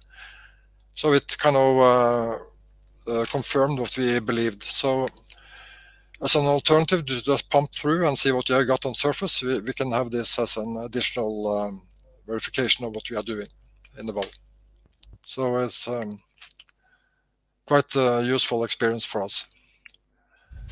Just uh, coming back to the the pulling tubing on uh, on uh, with the vessel, um, we see that as as a starting point towards pulling or performing complete permanent P&A using a vessel.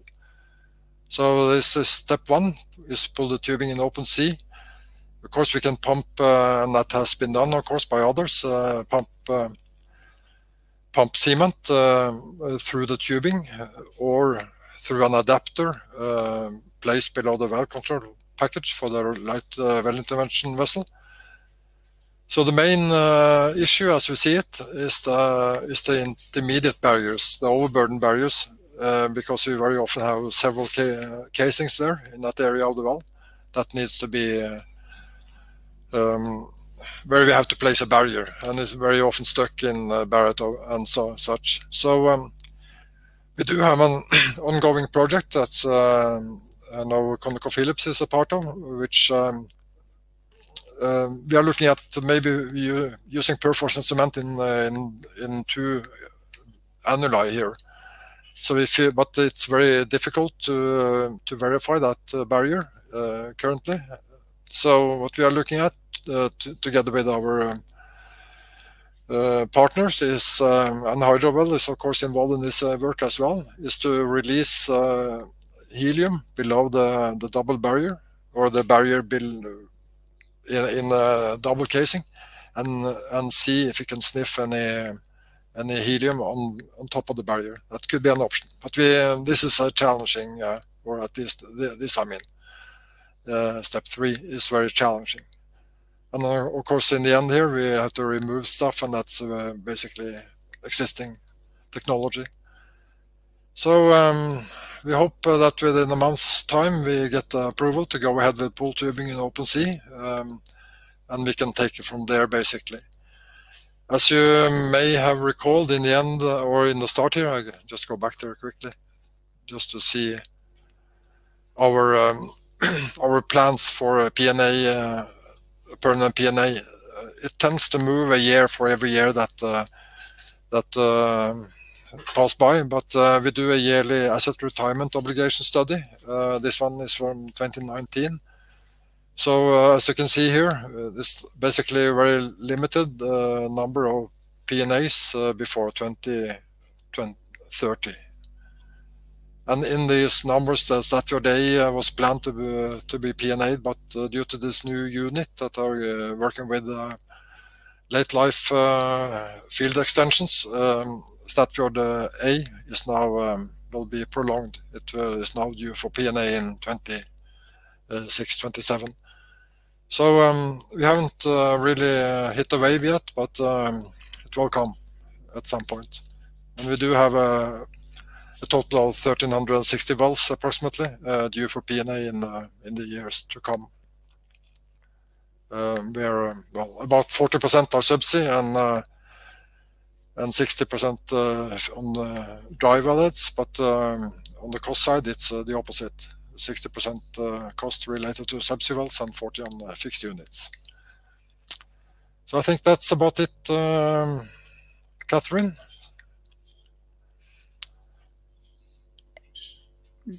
Thank you so much, Steinar, for uh, for your presentation. I think that was um, clear and quite detailed in the, in terms of the operations, and I think that that bring a very nice discussion later uh, today. Um, just as a, uh, as a comment, uh, I think that in Brazil we we have high uh, or more subsea wells, so it's uh, it will be interesting to see how we can exchange uh, knowledge between uh, Brazil and Norway in 2030 or before to plan opportunities to improve subsea P&A. So thank you so much to, for bringing that as well. Um, well, uh, this webinar is also an opportunity uh, to present new projects that are starting.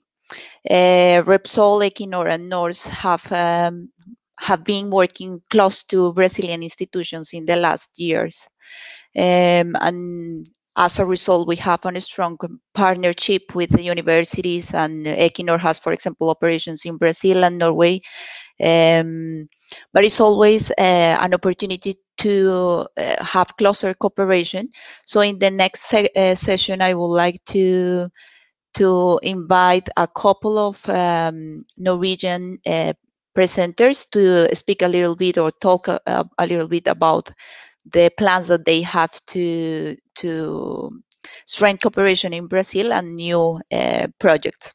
So first, I would I would like to invite uh, Professor Oystein Arild um, from the University of Stavanger. Uh, he is the head of the petroleum department at the university, and he will present a little bit about the new projects that they have. So welcome, Oystein. Thank you. Okay, share screen. I will let you know. Uh, yeah, we can see. Okay, so uh, I'll just uh, spend uh, some minutes now on uh, telling you about Branor. Um, it's uh, knowledge sharing between the Nor Norwegian continental shelf and the Brazilian offshore on well abandonment. Uh, but before we go into that uh, project, I'd just like uh, to say a little bit about the University of Stavanger. Uh, we are not the largest university in uh, Stavanger, but in terms of petroleum and the number of petroleum research and the number of master students that we are graduating annually, we are the largest. So it's about each year 100 um, petroleum engineering and petroleum geoscience students from all over the world are graduating from our universities uh, from a university, and P&A is one of our key research areas. Um, we are um, uh, we have also uh, published uh, the very first uh, textbook on uh, P&A that you can see to the to the right there that we now use in in one of our courses. And as you can see uh, from uh, Steinar's presentation there, that big wave that is coming, that means that the students that are graduating in the coming years, they should have P&A as part of the curriculum. Okay. Uh, Branor is not a typical research project in that sense. It's a networking uh, project.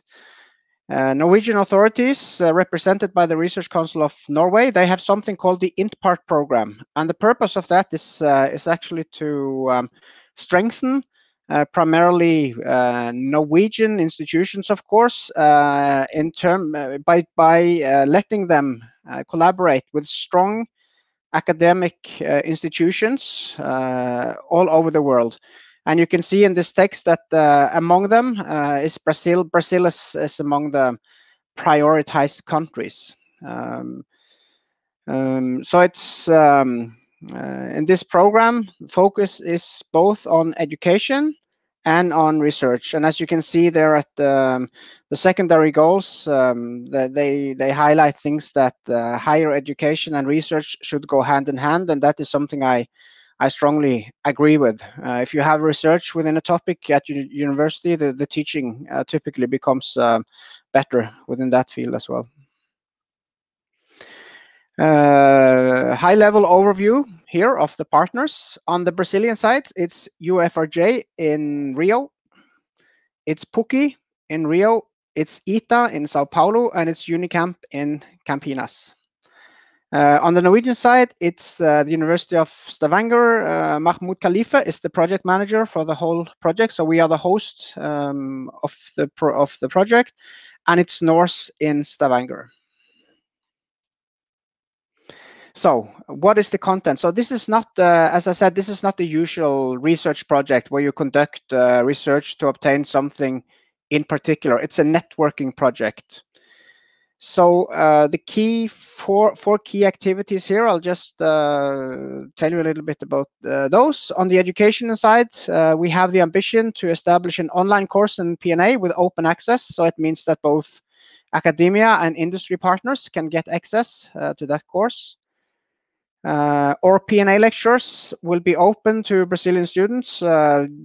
Uh, because of the corona situation, this uh, this uh, gave us a good start because now we are actually streaming all our lectures uh, because of the situation. Uh, and we're planning summer schools in P&A. on joint supervision and mobility, it's natural to exchange PhD students and master students and postdoc and staff uh, and also we will be working on if we can establish joint degrees that we think will be um, uh, relatively popular among the students because it shows that you have an international profile when you um, when you graduate from either uh, University of Stavanger or the Brazilian universities involved. For the workshops, uh, we'll have binational workshops and um, well, as a kickstart, we already have a, a binational workshop in uh, in Rio just before the academic uh, before the pandemic hit uh, hit us. Um, and on project development, uh, we will be trying to establish specific research projects and later on I'll give you a, a quick uh, overview of one of those projects that already are rolling. Uh, very quickly here, as you can see, the, the budget is not large. It's four and a half million Norwegian crowns divided uh, on all uh, partners. But we are ambitious here and we want the activities to be interesting to um, uh, the industry and therefore we have an ambition to get additional funding. Here is an example of a project uh, between NORCE and UIS on the Norwegian side, uh, and uh, UFRJ and Petrobras and FINEP on the Brazilian side. The the key thing here is that um, NORCE have developed uh, a risk-based approach to how to for how to evaluate uh, wells in the planning phase. Uh, it's called the leakage risk calculator. Uh, the Brazilians are also very interested in, in this approach, and they have quite a lot of wells uh, to be abandoned, and they would like to um, uh, potentially use this tool. I'll show you a little bit uh, in the next slide, li a little bit more details. But they are also interested in the environmental impact in case such wells are starting to leak, which is also of interest on the Norwegian side. So basically what we have done here is that Uh, we have common interest, but uh, the Norwegian side has taken responsibility for one part of it, and the Brazilian side has taken responsibility for one part of it, and then we'll share uh, the results, so it benefits uh, both parties.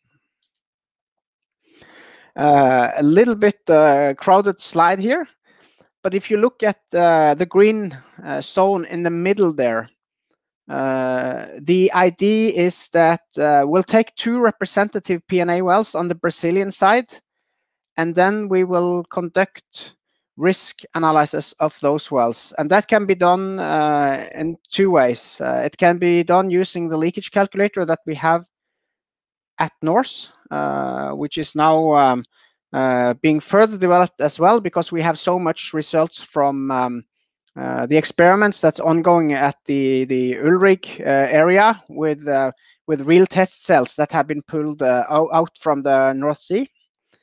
Um, from the database on the Brazilian side, we are thinking of uh, well a machine learning model or um, running some statistics that could give us additional information and be combined with the leakage risk um, to the leakage risk model that we have at um, at NORCE.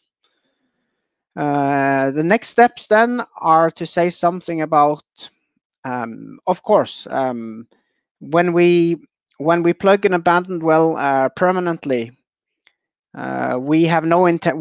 The intention is that it shall never leak, uh, no hydrocarbons at all. But you know, in a risk-based approach, there will always be um, a probability that this is occurring, although it's not um, desired. Um, and then the question becomes, if they start, uh, if it starts to leak, what should we do? Uh, because it has some environmental consequences potentially. Um, and then it has cost consequences because you may have to go down and stop the leak. Um, and that again is so. Um, if you look at that whole chain there, um, by connecting the environmental consequences and the technical risk analysis, you can actually um, you can actually um, go all the way back to the design of the well to decide if the risk is acceptable or not. So that's kind of the end part of that analysis chain. So, uh, for example, um, uh, if the risk says that um, you know there's a two percent, well, it's uh, probably much lower than that, but say it's two percent uh, chance of leakage, and that there is um, there is a certain leakage rate of methane, which is very very low. Uh, then the environmental analysis would say that uh, this is acceptable, this is not uh, damaging in the long term to the environment, and therefore the design of this well is acceptable. Okay, I think that's what I had to, to share, Catherine.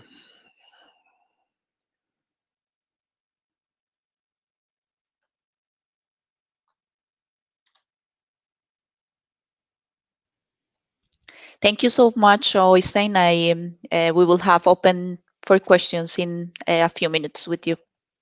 Thank so. I would like to invite now um, Harald Linga from uh, SINTEF.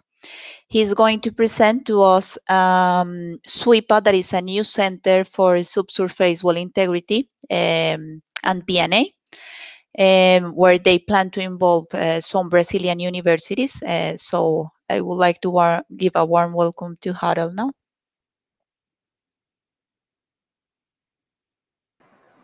Can you hear me? Yeah now you are here and not anymore.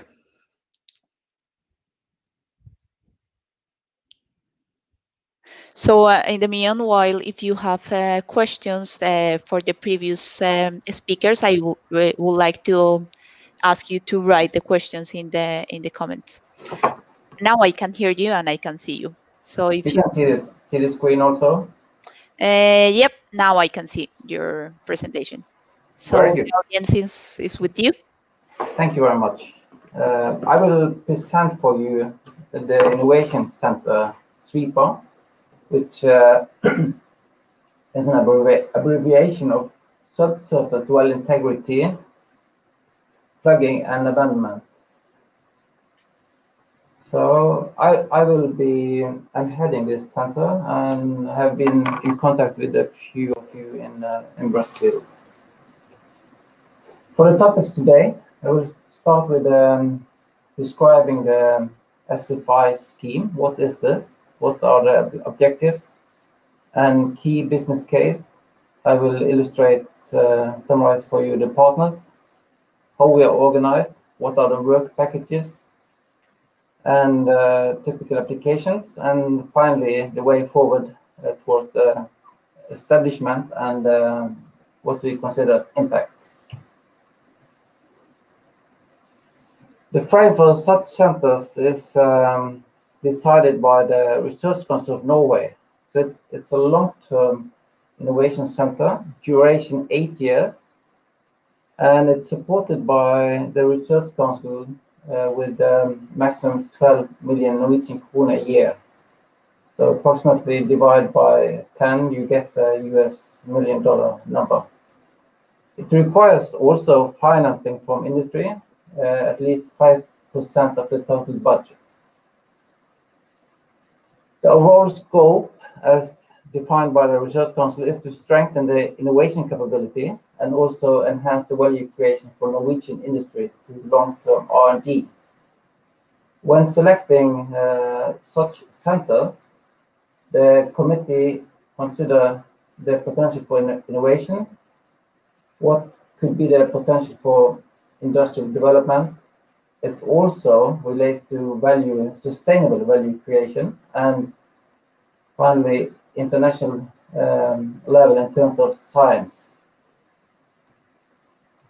Uh, what we have defined for SWIPA uh, as a key objective is to obtain a scientific understanding of permanent well barriers and by this allocate to improved well, well barrier design methodologies. Uh, the benefit will relates to the well integrity and addressing what has been discussed earlier today, cost, materials, lengths, and operations. And finally, we also consider reuse or alternative applications. That means uh, what could be the potential for converting petroleum waste into other applications, storage of gases such as CO2 and hydrogen, and also utilize the know-how from SWIPA towards material repository and geothermal operations, where also well integrity is very important. Um, the center granted um, uh, the host institution is SINTEF, and we are partnering with NORCE, IFE, uh, Norwegian Institute for Energy Technology, and the universities NTNU and uh, University of Stavanger.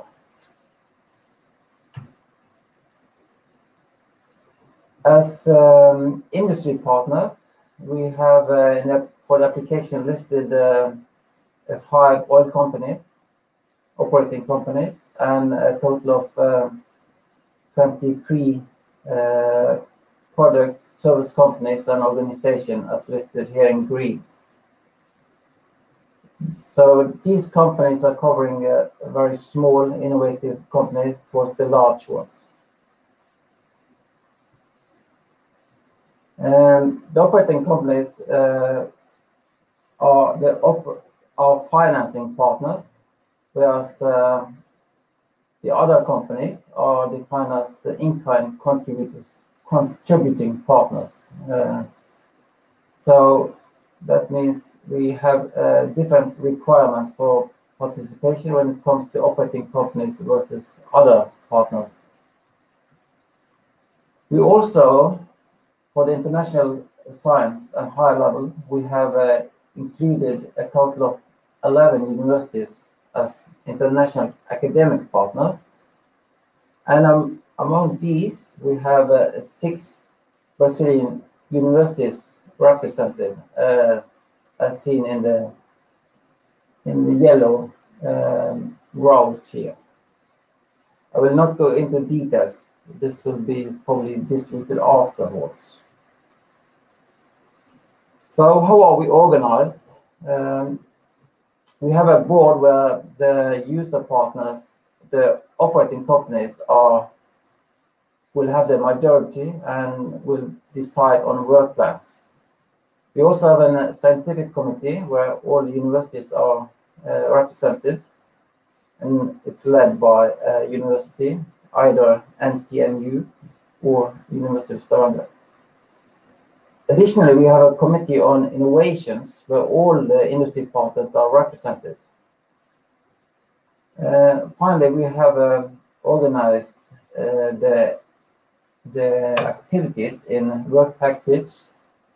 Uh, one in on one is on well barrier materials, one on, is on barriers for storage and disposal, one on upscaling and testing, and one on innovations. And these are led by the different uh, research organizations in, in Norway, but we also contribute towards each other's work packages. So SINTEF is hosting the center. Uh, we have uh, the two work package one and two related to um, low technical readiness level, uh, bringing this up to upscaling testing in the work package three, and towards the innovation and or towards the commercialization, we are addressing how to promote innovation and further um, support technology qualification, and that is carried out in work package four. And this work package four also is very important um, vehicle for um, generating project spin-offs, uh, which can be sponsored or organized differently outside the Innovation Center. It can include uh, cooperation with the Oil and Gas Technology Center in UK. It can be joint industry projects, single client projects. Uh, it can be researcher projects and so on. When it comes to the technical readiness scale and the SWIPA indicated in this green box, uh, we are covering um, up to uh, from low technical readiness level up to what we call pilot testing. And this uh, I also have illustrated ongoing projects where some of the companies uh, represented today are participating. It is, uh, as an example, we have the SINTEF KPN Shale Barrier Toolbox, and we have the program uh, presented by already presented by Catherine, the P&A Innovation Program by NORCE. So this illustrates where we are on the proprietary product qualification scale. I will not go into further details here. Um, just we have made now a work plan for next year. Um, this uh, illustrates um, the startup. We have uh, just a few uh, keywords there. We have included sealing ability for plugging materials. We have included bismuth applications, uh, self-healing behavior, free properties of shale barriers, um, cement handling, a scale-up study, and uh, innovation and technology development, But we have a we'll have a continuous uh, uh, collaboration with national authorities as an example. We have uh, also we've also initiated PhD studies, and we will also employ postdocs in the different programs or projects within the center. Work package one, well barrier materials and integrity. As I said, we will target fundamental understanding of different barrier materials and uh, explore barrier acceptance criteria, targeting fit for purpose risk-based approach to P&A. And this will be important, very important for uh, enhancing, promoting new products and services. Next, work page two, barriers for storage and disposal. where we will address um, um, specific well integrity applications, not only P&A, but also uh, selected energy applications. Uh, that means storage, for instance, of hydrogen, CO2, and geothermal, and so on. So this will um, result in uh, potential new innovations related to new solutions and guidelines. Third work package, upscaling and testing. Um, that relates to investigating physical and operational scaling effects and uh, clearly testing under relevant conditions. That means larger dimensions, uh, higher pressure, higher temperature, as uh, close to realistic as possible. That's the responsibility of NORCE. Uh, examples here are barrier performance evaluation and uh, qualification and modeling of well barriers. When it comes to the final technical work package, um, we will, um, uh, within a committee, review and prioritize resource innovation and innovations towards further technology qualification. We will have close communication with national authorities, uh, such as the Petroleum Safety Authority of Norway and other uh, international authorities. Technical audits will be also part of this. Um, the Petroleum Safety Authority of Norway will be uh, uh important to communicate with and collaborate with as they have as they are setting the regulations.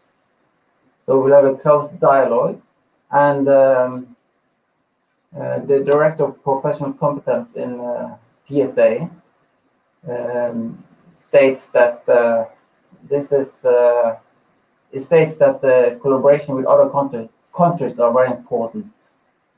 He addresses the International Regulator Forum, Offshore Petroleum, uh, including also Brazil. So uh, Mr. Carlson uh, identified P&A as uh, one of the main topics for the joint international collaborations among the authorities. Uh, this will be the topics addressed in SWIPA are uh, several. I will not go into details there, just illustrating what we will target. Uh, start with some of them, with illustrating the identified activities next year. Sealing properties, uh, verification of barrier integrity, uh, P&A tools and operations, and evaluation of results. So now uh, we are approaching the formal establishment of the consortium. Um, for the application, we received the LOIs from uh, Equinor, ConocoPhillips, Total, and Petrobras. Um, the plan is to have an, a particip participation fee, uh, 2.5 million Norwegian per year. Um, when it comes to the operating part companies, we have also got uh, confirmation from Wintershall later on, now that they have confirmed their participation. Uh, discussion with other operating companies are ongoing. For the in-kind partners, it's uh, um, a fairly small amount uh, set for in-kind contribution, uh, 100,000 Norwegian kroner per year. We are now working with a consortium agreement uh, where the due date is early January. When it comes to impact, we received considerable attention from partner companies, and also this has been addressed by several media, professional media centers in, in the world, as you can see here. So that concludes my presentation.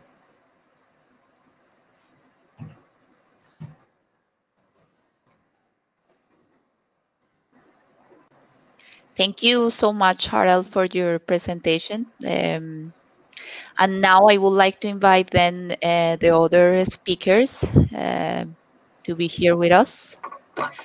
Uh, and if you have any question that you want to do to the uh, panelists, I, I, will be happy to share those questions with them, the speakers. So we have now here between uh, with us uh, Ademar from the Norwegian Energy Partners. Um, I would, like just uh, to say that the Innovation Norway has three offices outside Norway, and one of these offices is in Rio de Janeiro. So that means that Brazil is really important for the for the Norwegian government and Norwegian institutions. Uh, and also, uh, Norwegian energy partners have uh, are represented in uh, in Brazil. That is Ademar. So I would like to uh, invite Ademar here to to help help us with the questions and answers and to present Ademar to the to the audience as well. So yeah, and also I would like to say thank you everybody for your uh, presentation sometime. I think that this uh, event was nice. Uh, we, we present quite uh, hot topics for the industry.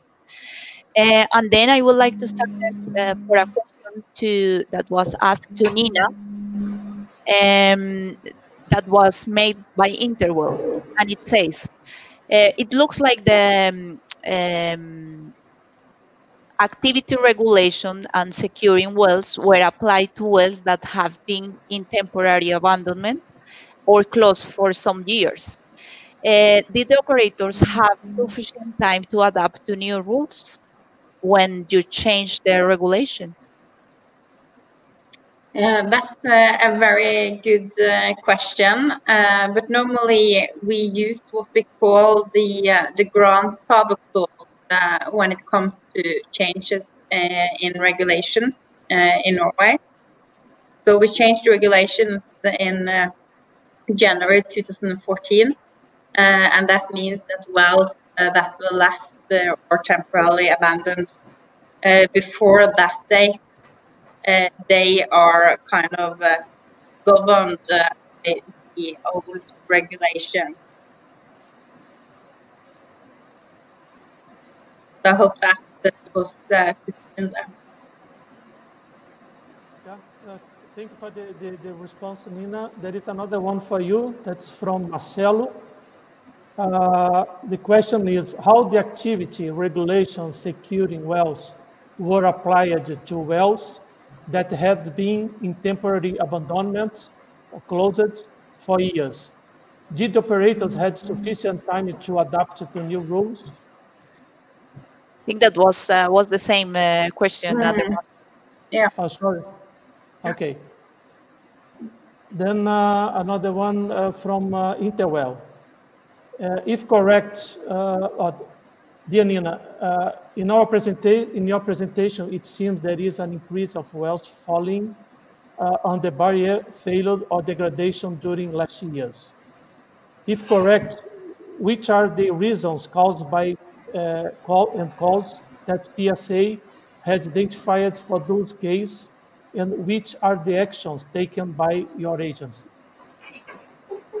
Yeah, uh, I think um, the most important thing to to answer there, or the message then uh, back, uh, back to Interwell, is that uh, of those uh, 24 um, wells that are currently categorized as red and orange, uh, 16 of them have been temporarily plugged for more uh, than three years. and some some for even longer than 2014. Uh, the reason for why uh, some of those numbers uh, with respect to the red and, and orange wells have increased during the last years are kind of yeah a mix. There's a mixed explanation. Uh, one of them is that some operators have done what you call a reclassification uh, of the wells according to NOROG 117. Uh, and also uh, the uh, currently Equinor operated Martin Linge field has contributed with five of the six red wells, and that kind of yeah, wells have transferred from one to another, uh, and they have different categorization.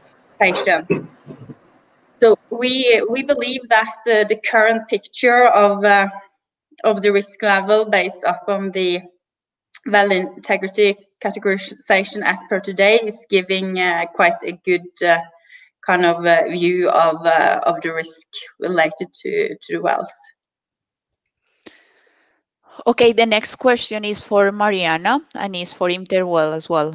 Um, and it says, once identified by well that update that uh, a particular operator is not complying with regulation uh, for temporary or permanent uh, abandon, which are the actions taken by ANP?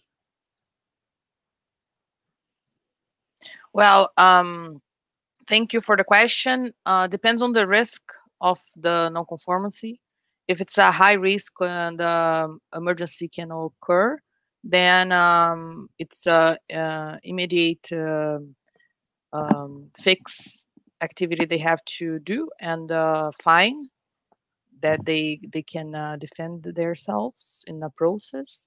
But if it's um, ri lower risk, depending on how the uh, non-conformity is, we can give non-conformity with uh, 30 days to fix, 90 or 180, depends on the classification of the non-conformity.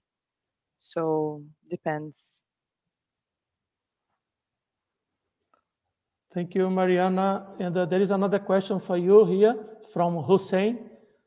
Uh, what is the most commonly used method of P&A in Brazil? And is the PWC method performed in Brazil, particularly for onshore wells?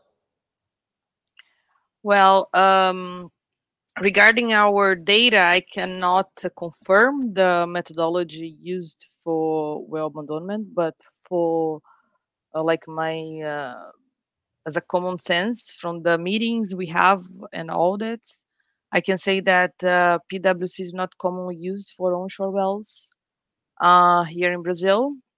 And the most common is uh, permanent, uh, two permanent barriers with uh, cement and um, perforate cut and removal for onshore wells. They even fill with cement from above, very the most simple way, let's say like that.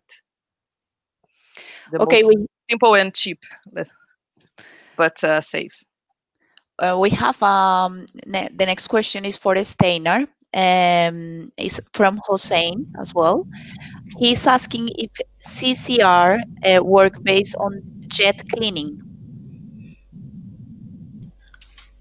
Well, we, it's not uh, jet cleaning, it's a cup uh, type uh, perforation cement, uh, perfor and wash uh, method. We, we dimension the perforations to not uh, damage the outer casing and uh, use cups to circulate out. Thank you, Steinar. Um,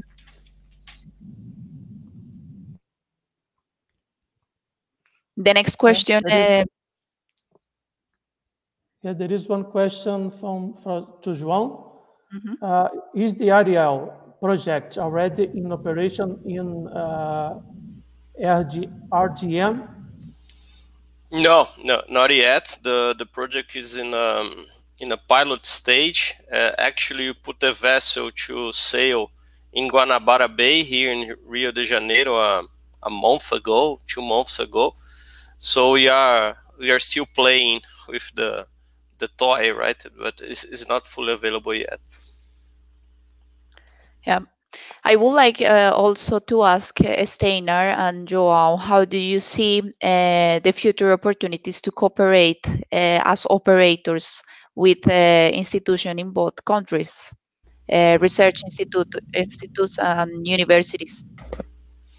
I do believe this is the the the way to move forward because we are uh, unfortunately in a very bad situation in the industry the budgets are decreasing for for R&D innovation all the companies.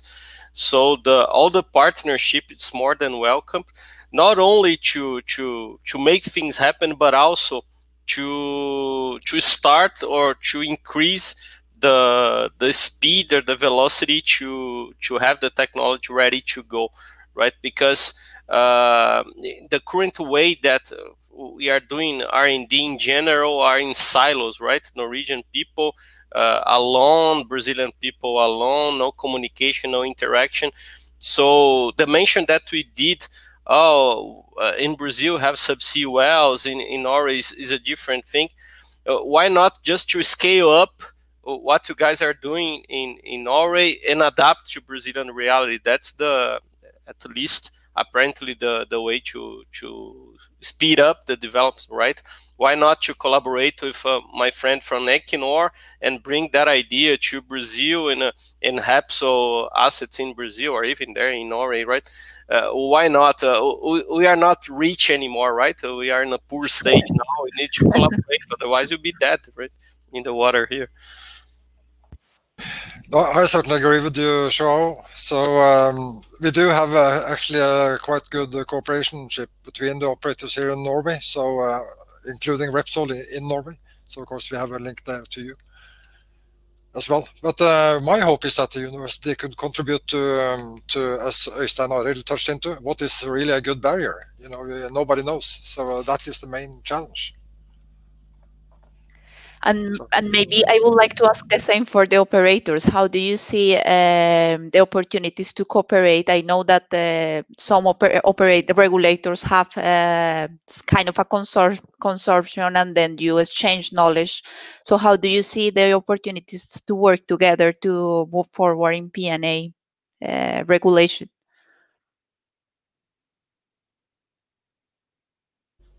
Who was that question to? Was it to us? Is for the regulators. Okay.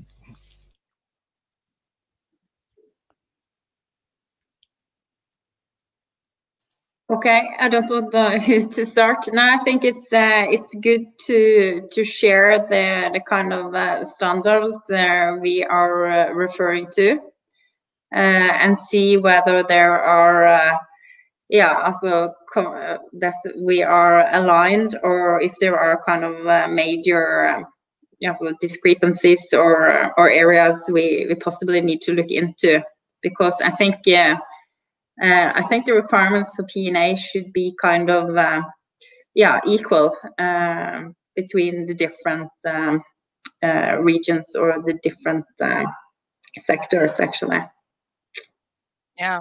Mm. Well, just to um, to um, include a little bit, uh, ANPs uh, really uh, review their our own regulation based on the best practices and other regulator, and we follow a lot of uh, PSA revisions.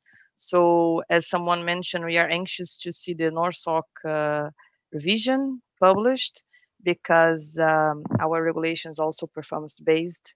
So the operator can choose the best practice they want to follow and um, it's good to to know how other regulators um, react to some uh, operators uh, request and uh, some industries move. So for us we've been um, we have a technical cooperation signed with psa this year 2020 so we hope to exchange a lot next uh, next year.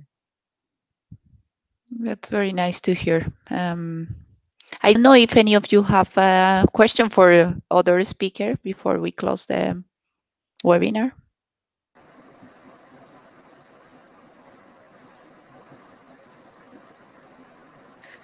I, ju I just want to to ask uh, all of you to uh, continue studying, researching technology because at least here in Brazil, uh, we are pushing the industry to do the P&A and not to postpone anymore. And also to monitor our wells because if we're not looking for it, we don't know what's going on there. And uh, we want to protect uh, our people and our environment. So count on us. And I'm very happy to hear all your uh, research. Thank you very much.